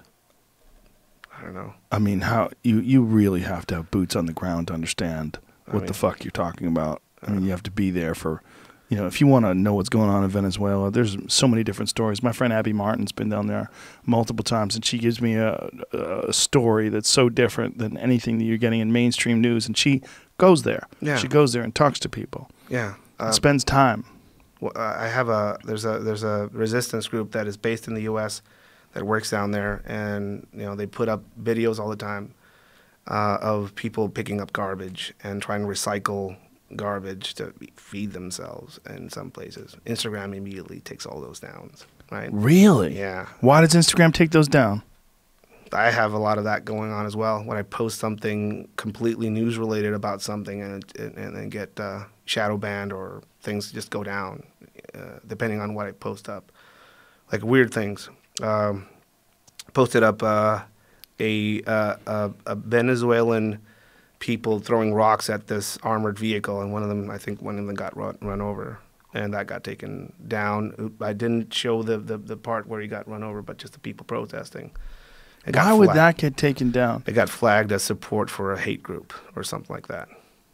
Support for a hate group by Yeah. showing the news. Yeah, or showing a picture of cartel. And again, I don't post anything graphic on my feed because I don't want to get banned, but I'm still shadow banned, right? So Well, you showed that one, by the way, uh, Ed Manifesto. That's how you find it. Ed Manifesto. That's uh, that. Ed, that's Ed's page. Um, you posted that one where you you saw a guy getting abducted yeah, yeah, by fake cops. yeah, yeah, and um, Yeah. and uh, Did that all- one get pulled? Yeah, It did. yeah. All of the all of the recent Sinaloa video ones are are all were all pulled off the, Really? the Instagram account. That's why I had to re-upload them all. I just don't understand their logic. I mean, uh, look, I can understand them um, saying caution. Some of these I- I- images and videos are sensitive, you know, like with some bloody things and things along those lines. Something changed in the algorithms a year back. Like when I was on your the first time I was on your show, I got obviously I saw a spike. Thank you, by the way. Uh, but all of the uh, pro Second Amendment uh, pages and uh, people like there's a guy Crispy who was a Yeah. veteran. You know, Yeah, he no. also he, he got a lot. he start, all of a sudden, all of us started seeing a lot of us stuff flagged. Yeah, his stuff got taken down. Yeah, He got. I think he got a. There was a photo of him with Donald Trump that got taken down. yeah, I'm like, sense. or I think it was Donald Trump Jr. Yeah. I'm like, what the fuck is wrong with you people? Yeah. Just because you don't align with someone politically, you can't take down photos and you can't pretend that he's posing with Hitler or something. Like, Yeah, what the I mean- fuck is wrong with you? It's it's uh, it's the people can report things anonymously. I think, and Yes. and if you hurt my feelings, there you go. So if there's enough people that flag your video and say this is hurtful or this is, they don't even look into it. They just pull it down. Yeah. So who do you think is doing? Do you think it's the Mexican government that's doing that? Do you think it's the cartels that are doing that to your I, I- page? I, I think it's uh, mostly Americans that have sensibilities that are completely beyond my comprehension. That uh, see a gun in a, in a in a picture and they're afraid of the gun and it's a it's terrorism. They're supporting terrorism hate group. Let's report that picture or video. Well, I, I could understand how some of what you're reporting on, truthful as it may be, would be disturbing to people to find out that truth. But you gotta let people do that. I mean, I mean, what does Instagram want to do? I mean, do they want to put parameters on what kind of truth you're allowed to Yeah. distribute? so uh, just for people to get some context, I, I do work for two two magazine companies and I do do articles. So in that regard, I do provide news in in, in, in, in certain ways. Um, but when I post something on my page, it's a personal view of something. I purposefully don't go into graphic material because I don't want to get flagged. But sometimes there's always people with a certain affinity to when they see a gun in a post or where they see an animal being butchered uh, for something like in, in, in a picture, or when they see hunting related stuff, or when they see some sort of. I remember posting up a picture of the Make Tijuana Great Again hats that they were making down there. Red hats that said Make Tijuana Great Again when the caravans went into TJ and people started protesting the caravans in TJ. That got flagged. What? That is so crazy. Oh, Yeah. If, God. if you want to confuse, uh, if you want to make people angry and confused, just wear one of those hats through the airport. yeah. Well, a lady got maced in the face for wearing one that said "Make Bitcoin Great Again." Yeah. Some guy maced her in the face. Yeah, I saw Knocked some, her hat off. I saw somebody walk down, uh, walk in an airport with a "Make Hentai Great Again" hat. I Make anything great again. You got. You can't do it. You it's too make- close. Yeah, it's too close. I mean, you know, that the hat, you know, red hat. is- I've never seen anything more divisive in this country. I mean, other than like a swastika or something like overtly disgusting. I I I, uh, I started my immigration process when he got elected. Oh no. It's it's it's been a trip, you know. I, How does that work? Like, if you are a Mexican-born citizen and you want to become a United States citizen, obviously it's very difficult. it, it, it, so married to an American, have an American kid. That's how I went through the process myself, and uh, you know I got a green card. Um, the the thing is that when he got elected, everybody said, you know what, maybe our time to get a green card is going to be less and less. So let's all try and get one. Mm. So what would take normally six months took two years. Oh wow. So in those two years, you can't leave the country. So if you, but what, what what happens to people that are illegal over? That's what's fucked up about it, right? It's like there's people that came over here illegally 20, 30 years ago, and they've done no crimes. They've been an integral part of society. They've had great lives, but they they can't pay taxes. They can't vote. They have to live undercover. Yeah, I mean, fuck, they're, they're, stupid. they're they're uh, you know and they do provide you know they do Yes. provide they pay taxes through other well, other through sales tax, Yeah. buying things, but they're not paying taxes. They're not. eh, But if you made them citizens, you would make money. yeah well It's not a popular view. It's a stupid view. Yeah, It's just, it's just, it's stupid that we have these people and they're permanent illegals. Yeah. And they will be here until they die Yeah. illegally, and we know they're- they're here. Like, how about work with what you've got? Look, you've already do you doing your best to stop the border traffic? Great, fantastic. But listen, let's just forget about the past. These people are here. They're here and they're a part of our community. Like, how you how are you going to deny them citizenship till the day they die, and they're still here? well, legal immigration, just like I went through, is hard enough. Yeah, you got to find some American lady. that shit's difficult. Uh, yeah, I, I, I, I got get it. lucky. You know? yeah, I did. You know, and uh, I- you know, but it it was a hard process. Uh, it's uh, it's it's it's a difficult process. and you speak fluent English. I yes, that's another thing. I Yeah. saw people in the line with me, uh, you know, that did not speak a lick of English, Hmm. But they were from a country that had a quota. And they're great, they're Ah, fine. Like you know, Holland or some shit. from a yeah. country that has a quota, so they're great. But you're, you're not. You're not. You're, It's hard for Canadians, man. I have friends from Canada that have come over here to try to become citizens. Yeah. It's a fucking grind. Yeah, Uh, uh, and, and and and don't get me wrong, I love this country. I, I've been. I'm new here, and I like what I see. I don't like where it's going in some places. What don't you like?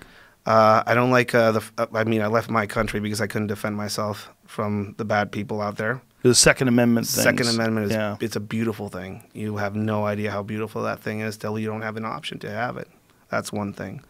Uh, I like the opportunities this country provides. I've had a lot of opportunities I would never get anywhere else. I like that you can actually work and work. You the work you put in matters here. Um, I like uh, I like how it's segmented and different. You go go to Tennessee, and you meet people out there, and they're great people. You know, there's some you know people have preconceived notions of what some part of the countries are, but I've loved it.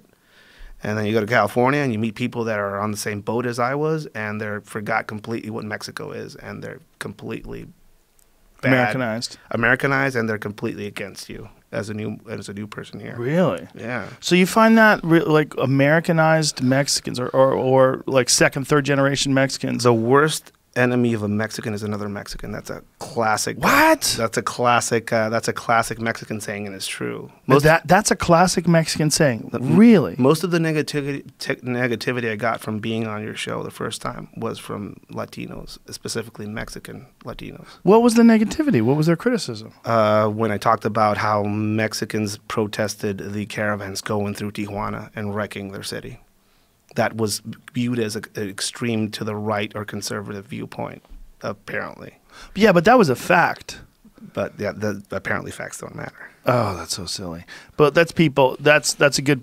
That's a good example of people that are not there. Yeah, yeah. That are talking about it. You're not saying you didn't make a value judgment saying that those people coming through were protested by Mexicans and needed to go back to wherever fucking rice paddy they come from. You didn't say any of that. No, so uh, uh, so this is what I saw when I when I talked about it uh, because I experienced it. I was in uh, I was in TJ for a while when that was happening.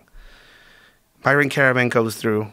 Obviously, a lot of those guys were gang members. A lot of them were, not all of them. A lot of them were covered in tattoos. It's pretty hot outside, wearing all of wearing, wearing hoodies. Cameras came by.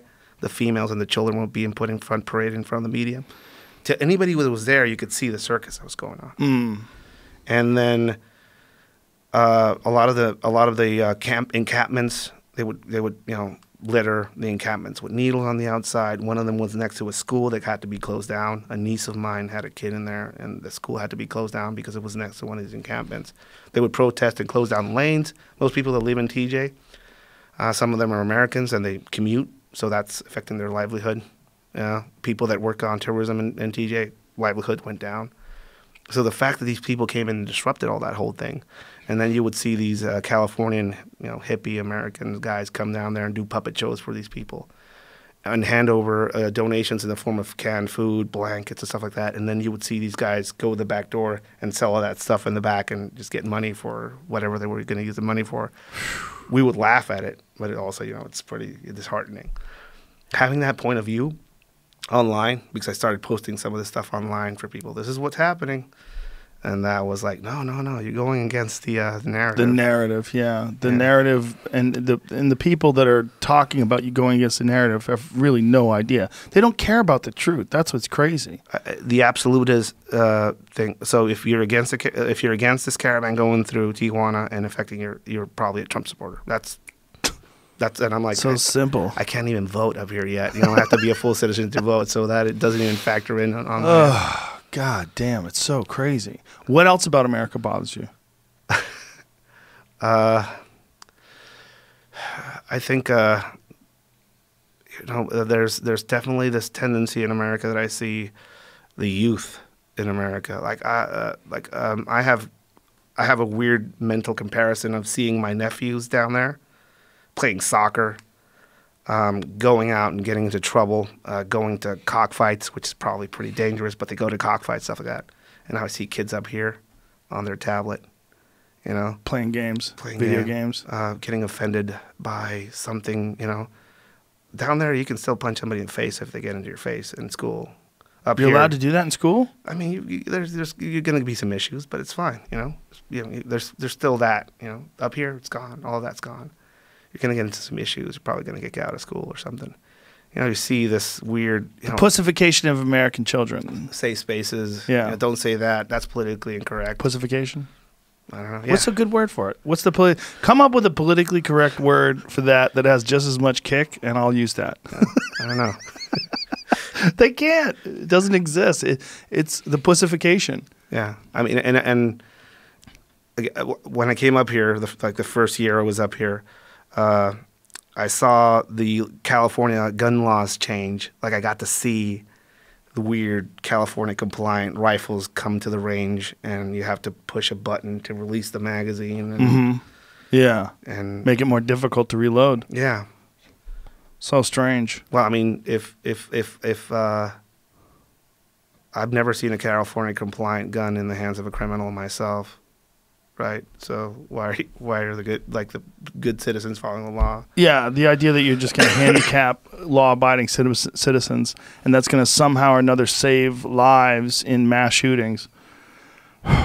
And here's the, the other thing about you, and I, I'm waiting for this to happen, but it's just not happening. They're never addressing people using psychotropic drugs. They're not. They don't address that. All those school shooters, all those mass shooters, are all on drugs. Yeah. they're all on some kind of psych drugs, and there's there's no mention of it whatsoever. Like what what is the action of these things? It's all about the guns. Yeah. and the guns are a, sh- a huge issue. I mean, the fact that these people who are fucked up, and yeah, they, that they have access and they can get access to these guns and they can wind up shooting people. Yes, that is one issue. Security is another issue. There's another issue, and that's mental health, and that's that to me is the biggest one because without the mental health issue, you don't get mass shooters. And, and that's uh, an interesting thing. We when I get people in conversations about the violence in Mexico and uh, you know, perspective. Mexico cartel guys, you know, go into a town and shoot up a bunch of people, and it's pretty horrible. Uh, but on the Mexican side, we only had one school shooting, uh, that like a notable one, right? And it was mentally ill kid when Yeah. took a gun to school. Right. And our, uh, as Mexicans, we look at what happens in the U.S. in schools, and we're horrified by it. That's like completely, you know, horrific. Isn't that Uh, amazing? it's in, um, again being on both sides. I'm just trying to figure things. What about pharmaceuticals being prescribed to children in Mexico? Is it similar? Not at all. Not, not I mean, we, we're so behind in some in some instances as far as, you know, uh, I didn't know about PTSD till I came up here, or or TBI, right? Really? Yeah, I didn't know anything about that. When did you learn about TBI? Uh, when I started talking Tra- about. we should say what that is: post-traumatic stress disorder and traumatic brain injuries Yeah. for people like I, I learned about it. kids. I learned about it from talking to most of my Marine friends that were coming back from. They're like, Head, like what you're describing that you're feeling sounds like TBI." Really? Yeah. You should get yourself checked out. And then you go down there and it's like, ah, you're, you know, things would happen and people would get, you know, yeah, just drink, get a few days off, take a few uh, shots of tequila, you're fine. You know? get back at it. Well, that's the old school mentality. I mean, that's what they had Wow. to deal with in World War II and Vietnam, and Yeah, yeah. Yeah. But you you've got I mean, when it comes to that, but mental health down in Mexico, there's like it's not it's not anywhere as far as medicating it kids being diagnosed with things like autism. Autism is a thing that I only recently kind of heard about I don't know, 15 years ago In Mexico? in Mexico. And what about um, antipsychotic drugs and all these different drugs that you're seeing that these a lot of these school shooters are taking? Yeah, in Mexico, it's not a thing. Uh, you know, people think that it's pretty permissive in Mexico. They can get any drug if you pay somebody off. The thing is that a lot of these uh, psychiatric level, they're they're not they're not available down there. Or people, you can go to and you're like, what do you want? No, this this is not available here. So it's not a part of the culture like It's it not in a part. America. No, no. Yeah, in America, it's such a huge part of the culture that people want that people are constantly wanting to take something to take the edge off, or take something so they could feel better, or take something to, you know, to just just to alter their state, and the doctor will prescribe it to them, Yeah. and then the pharmaceutical drug companies are just raking in the cash from it, so it just becomes a part of reality. Yeah, there, there, there, there was a few people like way back when I first started. You know, things were pretty lax when I got in. uh, you know, they you would get you know urine tested for cocaine and whatever. But um, uh, some people would go to Oaxaca and go on mushroom trips, like some of the veteran guys that would go through whatever. There's a there's a place in Oaxaca and, and Veracruz uh, where they go up into the hills and get some of those. They call them veladas, which is like uh, basically going to midnight and they would smoke these mushrooms and take them and they would come back apparently fixed some of them that was like the story you know Mm. Uh, it was pretty good for them to work their things out Well, John Hopkins is they're doing studies on on psilocybin, and there's been studies done on psilocybin with troops with PTSD, and that they they've found that, that it does help them. MDMA is another one that MAPS is doing all these studies with MDMA and uh, troops coming back with PTSD. yeah um, i mean a lot of that stuff has been around for a long time down Mhm. there like Yeah. uh, like uh, remember the beatles and members of the doors went down there to Yep. maria sabina uh, and Well, they found out about it was a Life magazine article from the 1950s that was one of the first really mainstream. Jamie, see if you can find who wrote that. There's a Life article in the 50s. I'm trying to remember the the guy's name.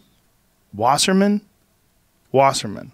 I feel like it's Wasserman, who was one of the very first guys to sort of mainstream psilocybin mushrooms, and it was because of uh, Mexican tribal cultures. Yeah. Ma- Maria Sabina was like the, the, the figurehead of that movement. Uh, she was a lady that would do these mushroom trips to, to, to, for people that would come up in the hillside with her. She would take her. Was own- it Gordon Wasson? Ah, it was close. Yeah. I knew it was something like that. Gordon Wasson. That's Yeah. right. Yeah. So this was seeking the magic mushroom, and I believe this was uh, what year was this, Jamie? Mm, didn't have the actual It's. I think it's in the fifties. So- yeah, I typed in 1950, uh, yeah. So Maria, Yeah, okay. Maria There go. Sabina left a whole legacy of that in Mexico. And she had a lot of people that learned from her, and a lot of these people are all over Mexico doing, you know, healing and spiritual work. Well, that's the other thing about Mexico. Mexico has some. Uh, f- you have some freedom. Like my friend Ed Ed Clay, he had a uh, ibogaine uh, retreat down there where people would go to get off of pills. Yeah, because it's one of the iboga is one of the best ways to get off of uh, particularly uh, opiates. Yeah, um, there, there's you know there's there's enforcement is hard in a country like Mexico, so you're not going to have people trying to go inspect things in some of these parts. So that's why there's a lot of places like that. You still to this day you can go to places like Oaxaca where technically that's taking mushrooms is illegal, but they grow on the hillsides. Didn't they kind of like uh, decriminalize a lot of different things down there? for personal use. So the quantities now matter more than they used to. So Uh-huh. sometimes you would get caught with a certain quantity of something, and that means you're selling it. So the How many uh, grams of mushrooms can you have? Uh, I, I, I have I would I'd have like to to look it know. up, but yeah, Everybody has a different p- opinion on what personal yeah. use is. I mean, I remember the first time I saw like a box a box of them, and I'm like, "What the hell are these?" And you know, later on, I figured out what they were, and you know, they're, they're a thing. They're a thing in Mexico. There's they're a big thing in Mexico. Mm. Um, there's a lot of people grow them. They're a big thing to anyone who finds out about them. Once Um, you eat them, they become a big thing. Yeah, yeah, apparently, and they they, they use them in rituals and all Mhm. sorts of weird rituals down there, uh, as a as a doorway type uh, element. Like there's a there's a ritual where they do where they bury you alive in a shallow grave. Oh Jesus! Yeah, it's pretty. It's basically a, an isolation chamber, a really poor man's isolation chamber. Uh, they bury you alive in the shallow grave with a rope with a bell on it, and they give you a bunch of mushrooms so you can think about things in there. and if you freak out, you ring that bell and you get And they dig out. you out? Yeah. Oh God. Yeah, How you breathing down there? They got a tube or something. that's a shallow grave. It's just basically you know about that much dirt. There's a hole where the rope goes through. You're so you're kind of fine. Um, but it's a it's like part of the death cult down there. They do that to kind of Oh, initiate boy. people into it. But it's it's mushrooms. They they take mushrooms. There's a bunch of weird stuff that goes down down there as far as the the, the, use of psychotropics like mushrooms and other things to uh, put people in the in that mindset of you know accepting a, a very specific deity or truth down there. Mm. Yeah. So let's get back to what's fucked up about America. I always like uh, talking to people that are that have come here from somewhere else and just sort of look at it with a fresh eye because obviously I'm, I've been here my whole life. I'm I'm used to it, Yeah. and I'm third generation. Oh, you are. Yeah. Okay. So I'm my parents were second generation. My grandparents came over here, so it's all I'm ingrained. You know, Yeah. I'm in the system. I don't know. Yeah. I'm, I'm blind. what else is fucked up about this place? Uh, I, I, mean, um, I don't know. I mean, I, I when, I travel around, I get to see different parts of America, and all of them, you know, there's there's certain certain places I've been called. Ah, you're you're you're one of the good Mexicans, Ed. You know, you're one of the good ones. I won't say what those parts of the country are, but I've gotten some of that. You know. Well, you, the United States is almost like Europe, where like there's all these different countries, except they all speak the same language. Yeah. You know, like Europe has France, and then they have Germany, and you go over there, and there's this one, and there's Sweden, and then it's all in this fucking big landmass. Yeah. But the United States' landmass is contiguous, and they all speak the same language. But if you want to tell me that Montana is the same as Florida, you're out of your fucking mind. Well, um, I I take those comments in stride. You know. Uh, that you're Me- one of the good Mexicans. I mean, r- being racist, kind of racial like that, and just messing with each other is the thing. Mexicans do that all the time, right? Uh, so I take it in stride. It's fascinating to me that people are second generation Mexicans up here take more offense to something like that than than I would. Somebody say, "Hey, you're one of the good Mexicans." Yeah, yeah, yeah. Whatever, you know. It's it's, it's to me, it's like a thing. I I take in well, the easier things get, the more people get quickly offended. yeah, Yeah, yeah, that's- yeah. that's I a mean, fact. Yeah, uh, hard times produce uh, Hard men, hard, hard men. men. produce soft times. Soft times produce weak men. Yeah. So when I, when I come up here, I see some you know softness in, a lot of the society, and a lot of feelings get hurt. Uh, having to watch what I say, as far as you know, I always tell people. around? Yeah, I, I always tell this to people. First off, I'm from Mexico. I come from a Mexican education system. It's a third world country, so please take everything I say with that in mind, right? And then I go into whatever I'm going to say. and so, like when you do, like when you teach classes, when I have a class or I have a like I recently did did a, uh, a conference with a bunch of uh, uh, bodyguards and security professionals that work internationally. I had to start with that one just to not offend anybody, you know. That's hilarious. You're teaching security guards and bodyguards, and you have to worry about being offended. Every now and then you get somebody, you know what? You said something. Oh, Christ, you fucking babies. Yeah, so uh, never read the comment section. Never, uh, never stay behind and talk to people, especially if they, they look like they're they want to speak to the manager. You know, Oh, did, did you get that Yeah. when you teach classes? every now and then I get some. what did they say to you? Uh, you know, I, I think I think your point of view is, is is skewed because you work for the government down there and you weren't part of the like the poor class. I was like, I wasn't part of the poor class. If you work for like where I work from, we were pretty poor, pretty poor, poor, right? It's not like you know, I was middle class. I was pretty poor. Uh, or or they or, or they try to tell me the realities of where I'm from. Oh, that must be hilarious. Oh, that's pretty good. That's pretty good. Ed, you're just fear mongering about Mexico. I go down to uh, Rosarito all the time with my family. It's fine. Well, Rosarito's fine. Go down to Tamaulipas where the shooting happened and tell me the same thing.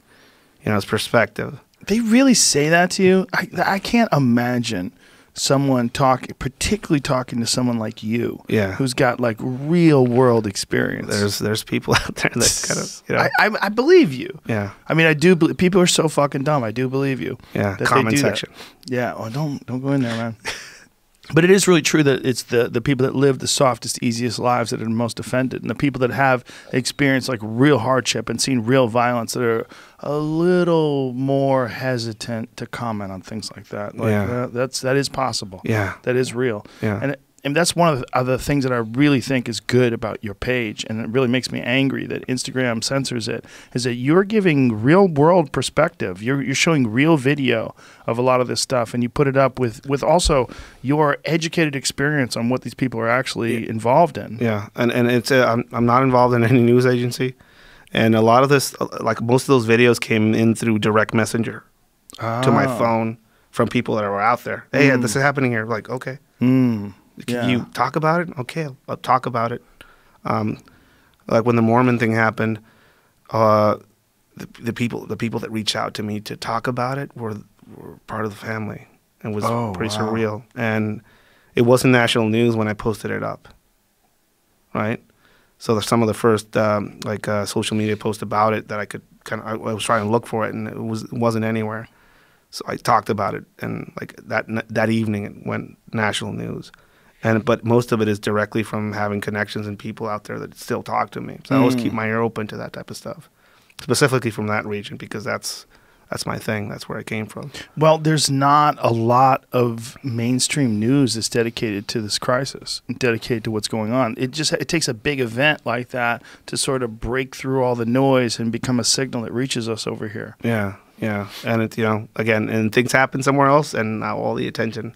Like most people aren't focused on Iran now. So Yeah. the whole what happened down there. They're Yeah, it's just fucking crazy. Like, I, there, there's a giant problem right next door. You could walk to it, literally. I mean, if you live in San Diego, it's a 15 minute drive. yeah, You- like it's right there. Well, it's just to, to me, it's I love San Diego and I love going down there. But every time I go down there, I'm like, you guys could walk to Mexico. Like this is so crazy. Like especially La Jolla. Like La Jolla, which is one of the most richest parts of the country, fucking unbelievably beautiful, Yeah. stunning views, gorgeous mansions. Everybody's driving a Mercedes. You're 15 minutes away from Tijuana. yeah. And if you, we have heavy rains in Tijuana, all of our sewage is going to go right through there. Really? Yeah, Is that what happens? A lot of the sew like recently we had a major major rain in Tijuana. All of the sewage goes across the border to to a Tijuana estuary. There's a there's a processing facility the U.S. has on this side, but it can't manage all of that, and they have to close all the beaches in the area. Oh. Wow. which is again, it's fascinating how to see how the effect. Uh, uh, there's a bo- there's a border wall there, but there really isn't a border There's wall. no border wall. You get in a boat. You Yeah. row over there. it takes three minutes. Or you can parkour. I Yeah. posted, I recently posted up a bunch of videos of people parkouring over that wall. I saw it. Yeah, I mean, look, I admire ingenuity.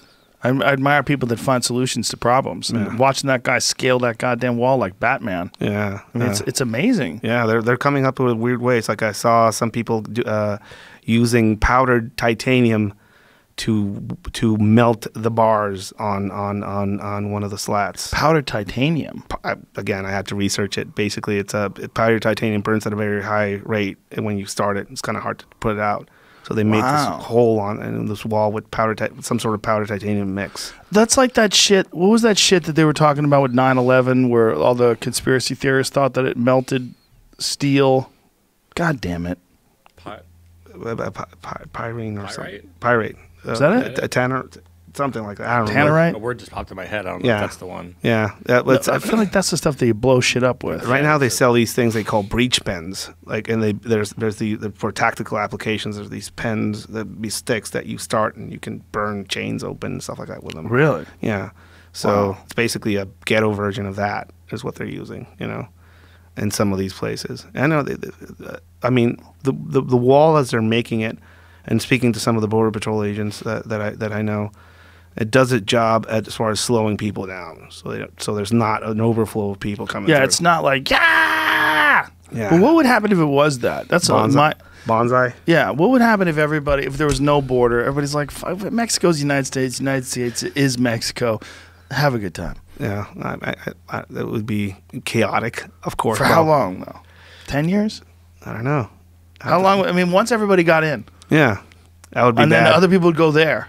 Yeah. I mean, if what if the United States and Mexico came to a deal and they said, you know "Listen. Yeah. we'll, we'll call." Wasn't there a thing that they were going to do there was a North American agreement. There was like they were trying to do that with the Yeah. United States, and Set up a single currency. yes, yes, Yeah, there's a lot of conspiracy theories around the Amero. yes, Yeah. there was something like that. Like they were going to do it with Canada. where we're all going to become I, one mean, I could nation. see I could see it with Canada, Yeah. yeah, but maybe not, you know, Mexico. well, look, we could all spread all the good around. Yeah. And then also, like, look, Mexico's got some awesome spots. Wouldn't it be great if U.S. industry moved in there? And lithium. Yes, and lithium. Maybe that's going to help. lithium. Well, Colombia did a great job in eradicating all the the problems with narcotics. I I think it, it, it is really well, not all of them, because they still have Well, a yeah, guerrilla guerrilla group down there that recently kind of uh, the FARC that went uh, amnesty and then they, they got active again. But there's still there's still a lot of cocaine being produced there. and Oh yeah, yeah. But, it's not nothing like when Escobar. no no. How, what did they do? Well, they were facing uh, just just a few criminal groups, large ones, and Mexico is facing a, a lot of them. That's And interesting. They So have the U.S. right next door that is pumping uh, money into the uh, issue directly. They don't have to fly in. No. Yeah, it's not a So long plane flight. It's a short walk. Also, Mexico's a pretty big country. I think people kind of miss that. Also, it's a pretty big country. It's a pretty big country. Do you do you remember when there was a CIA drug plane that had like several tons of cocaine on it and it crashed because the Mexican government wouldn't let them land and refuel? Yeah, yeah. I mean, all sorts of conspiracy theories are around. Well, that was a real CIA drug plane that had been to Guantanamo Bay at least twice. Yeah. Like it was documented. Yeah. And they, for whatever reason, I mean, I, I, were flying back with a I- lot of coke. Look I- at that. Look at all that coke. I imagine, I imagine government groups everywhere have agents. Cowboys. Yeah. Yeah, you have cowboys. When people are trying to say the CIA brings in drugs, no, no, no. It's people who work for the CIA realize they can make a shitload of money if they bring in drugs, and they they pass that money around and they work it out. But the CIA itself does not bring in drugs. Yeah, uh, uh, customs, customs and border protection agent agents, and uh, just Homeland Security as an agency has the most corruption charges uh, as far as all law, law enforcement agencies. Do they really? Yeah, federal uh, uh, federal charges for corruption uh, because they are on the border and there's a lot of money on the border. Of course, that's that's why, right?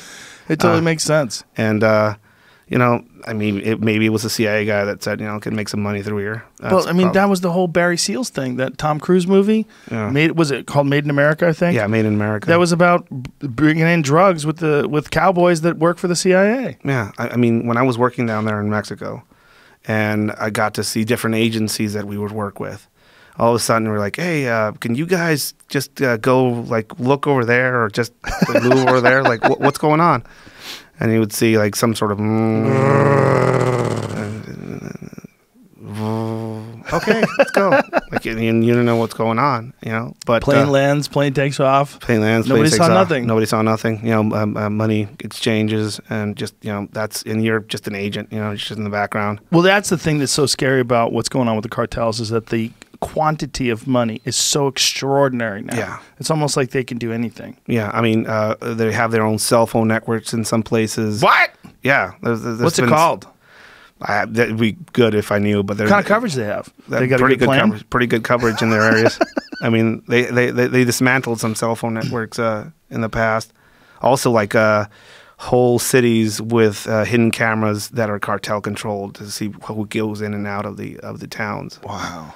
Like so, they. so it's they- sophisticated. Oh yeah. So uh, Mexicans Mexican government is working with uniformed uh, agents patrolling in pickup trucks in the back, and these guys are living in 2025 and using drones to to to surveil the the patrols in the area, and they're using their own cell phone network so they don't have to be worried about government tapping into their communications. Uh, they're utilizing encrypted phone technology that is available now commercially throughout the world um, to get around some of these things, um, and and they're and they're working. They're constantly evolving in how they work.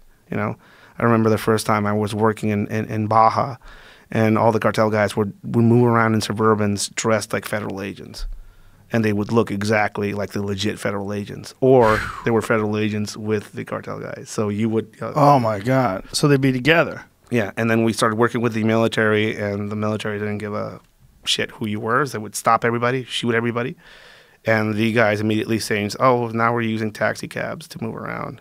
and different types of cars, and we're gonna paint the the, the vans like uh, taxi vans, or we're gonna move around in, in ambulances. So they changed their tactics.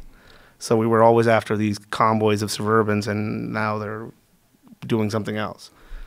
So that's how they evolve. They, they, they just you know, you're trying to go after them with a hammer, and these guys are mosquitoes. Does it make you want to move to Canada? No, no, no, not at all. That's the furthest you can get away from all the Uh, chaos. you know, uh, uh, it must be going on up there as well, right? They, Uh, they must have a. so uh, I, I interviewed a uh, a uh, a smuggler, a coyote, uh, for one of the articles I wrote, and um, he um, you know asked him directly like, "What do you think about the the, the border wall and, and the immigration uh, uh, policies of this current administration?" He says, "Oh, it's good for business. You know, it makes it seem like it's harder to put people in, in the United States." So, I mean, that wall is pretty hard. Like, how do you do it? I fly them to Canada and they walk down. Well, we talked about it before that the border of the United States is a wall to Mexico. The border from the United States to Canada is a giant clearing that's 100 yards wide. It's real clear. You can see it. Like It's almost like they make it easy. Hey, just go right here. Yeah, I mean, a lot of people that want to get into the U.S. You hear you hear numbers from eight thousand dollars to fifteen thousand dollars, depending on who you are, what you're trying to do, how you're trying to get up here, as far as being smuggled up. And he's like, uh, pass Mexican passport. Get a Mexican passport if you're Mexican. We'll get you a Mexican passport. Uh, we'll put two thousand dollars in an account somewhere. So if they want to verify if you're financially solvent, they will check that and just fly to Canada and just walk down. And that's what we do. Well, Canada's super liberal now too with Yeah. that Justin Trudeau guy. Yeah. Super liberal. Yeah, so a lot of a lot of their a lot of their business as far as smuggling people, that's how they do it right now. Instead of going through the desert, you know, there is that there is a lot of that going on now too. Like some, there's a lot of people from Africa, African migrants coming into in, into Mexico. A lot of people from the Middle East as well, which is worrying for some people. Um, coming in through Mexico, trying to make their way up. Uh, but it's pretty hard for these people now because there's a lot of security now on both sides of the border. Mexican Guardia Nacional, and on this side of the border, things are kind of more stringent.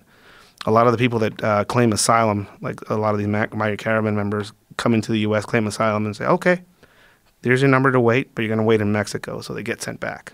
Oh. Even if they're not from Mexico, they have to wait in Mexico, which is pretty interesting. Yeah. There's a lot of these uh, immigrant uh, waiting encampments in places like Texas and even T- in, even in Tijuana. There's places where people get cross asylum. Okay, here's your number. You have to wait in Mexico. They get sent back. Yeah. Man. Are you hopeful? Do you think this is going to work out okay?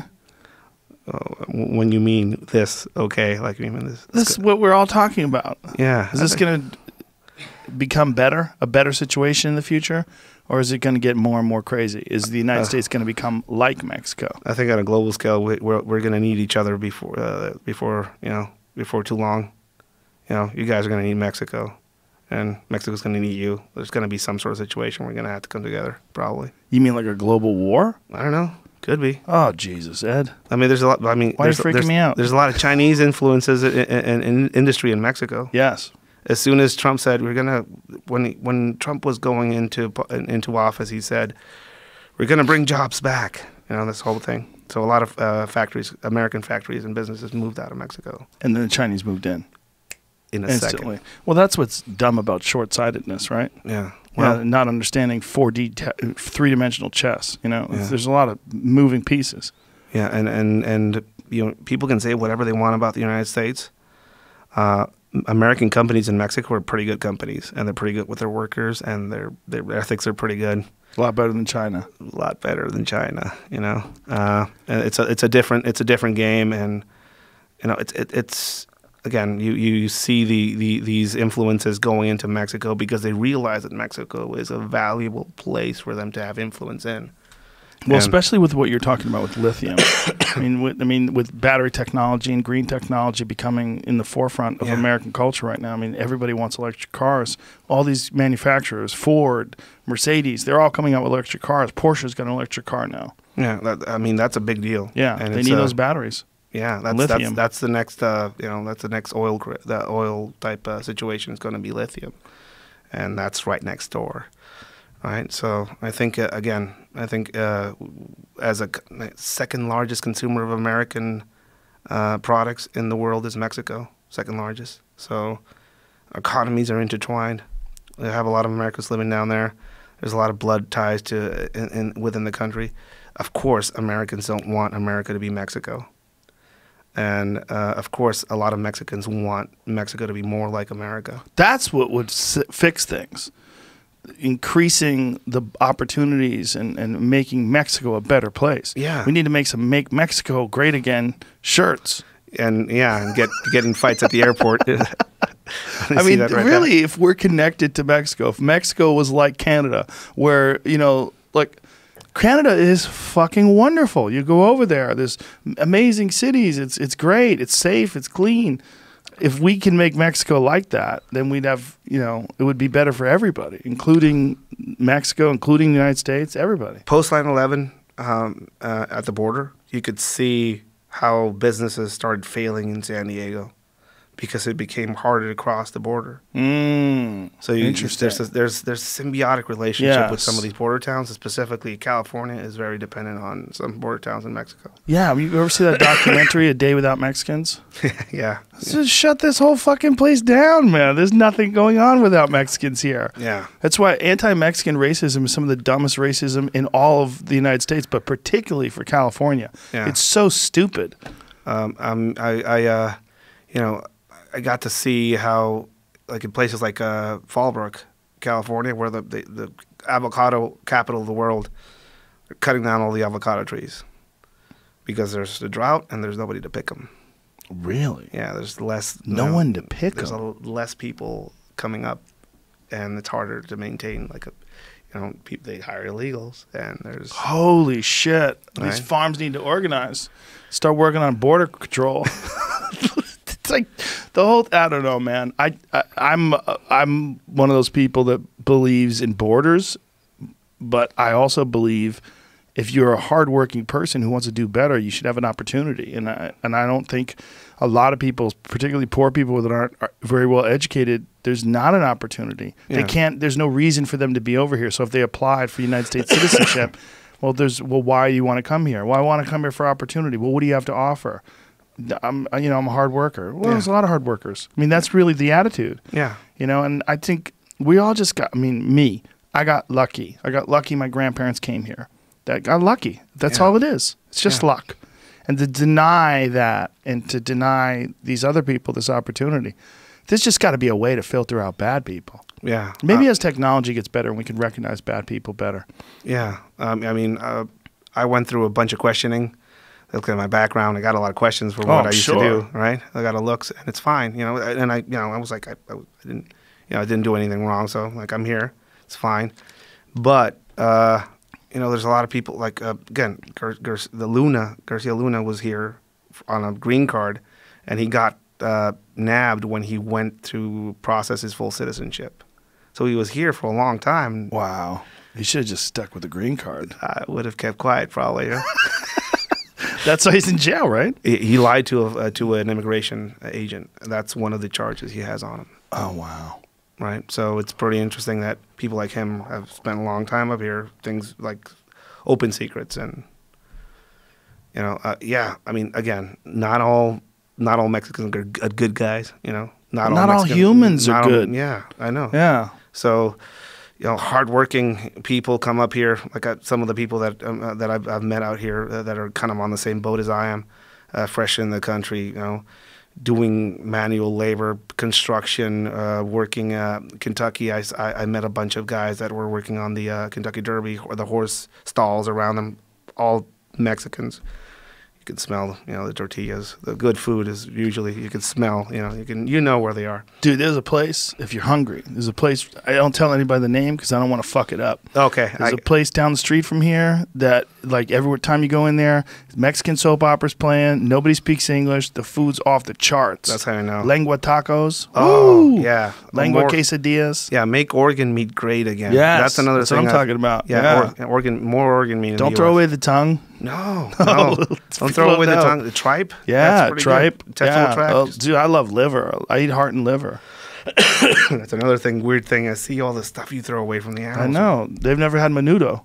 Oh, it's that's that's sad. This place up here has menudo. Oh, it's off the charts. Yeah. Uh, be, be, best hangover food. Uh, menudo. Menudo, Menudo. right? Why? How does that work? There's like a science behind that. Uh, you know, organ meat. I don't know. There's a lot of nutrients in it. Basically, uh, Right. a lot of nutrients get stored in organ meat. And it's a soup, so you get the rehydration from that. yeah, and it's all it's, it's like a common thing in Mexico about liver specifically. Mm. Uh, I grew up on a on a pig on a pig farm, and my mom would have this rule: if you killed it, you have to eat it. So I killed a rattlesnake once, and I was peeling it, and the liver of the rattlesnake was the, like a treat that she would give us. Right? Really? Yeah. Raw? Raw. Woo! Yeah, it's That's pretty good. hardcore. Well, my mom was pretty hardcore. God, it sounds so. yeah. But listen, man, thanks for coming here and, dropping knowledge. We really appreciate you. And uh, again, Ed Manifesto is your Instagram page. Yeah, uh, it's manifesto. Uh, Please, everybody, sign up, go follow him, check it out, get yourself educated, find out what's going on, and tell Instagram to go fuck themselves. What they're doing is rude. That's it. Yeah. Thanks, brother. Appreciate you, man. Thank you. Bye, everybody.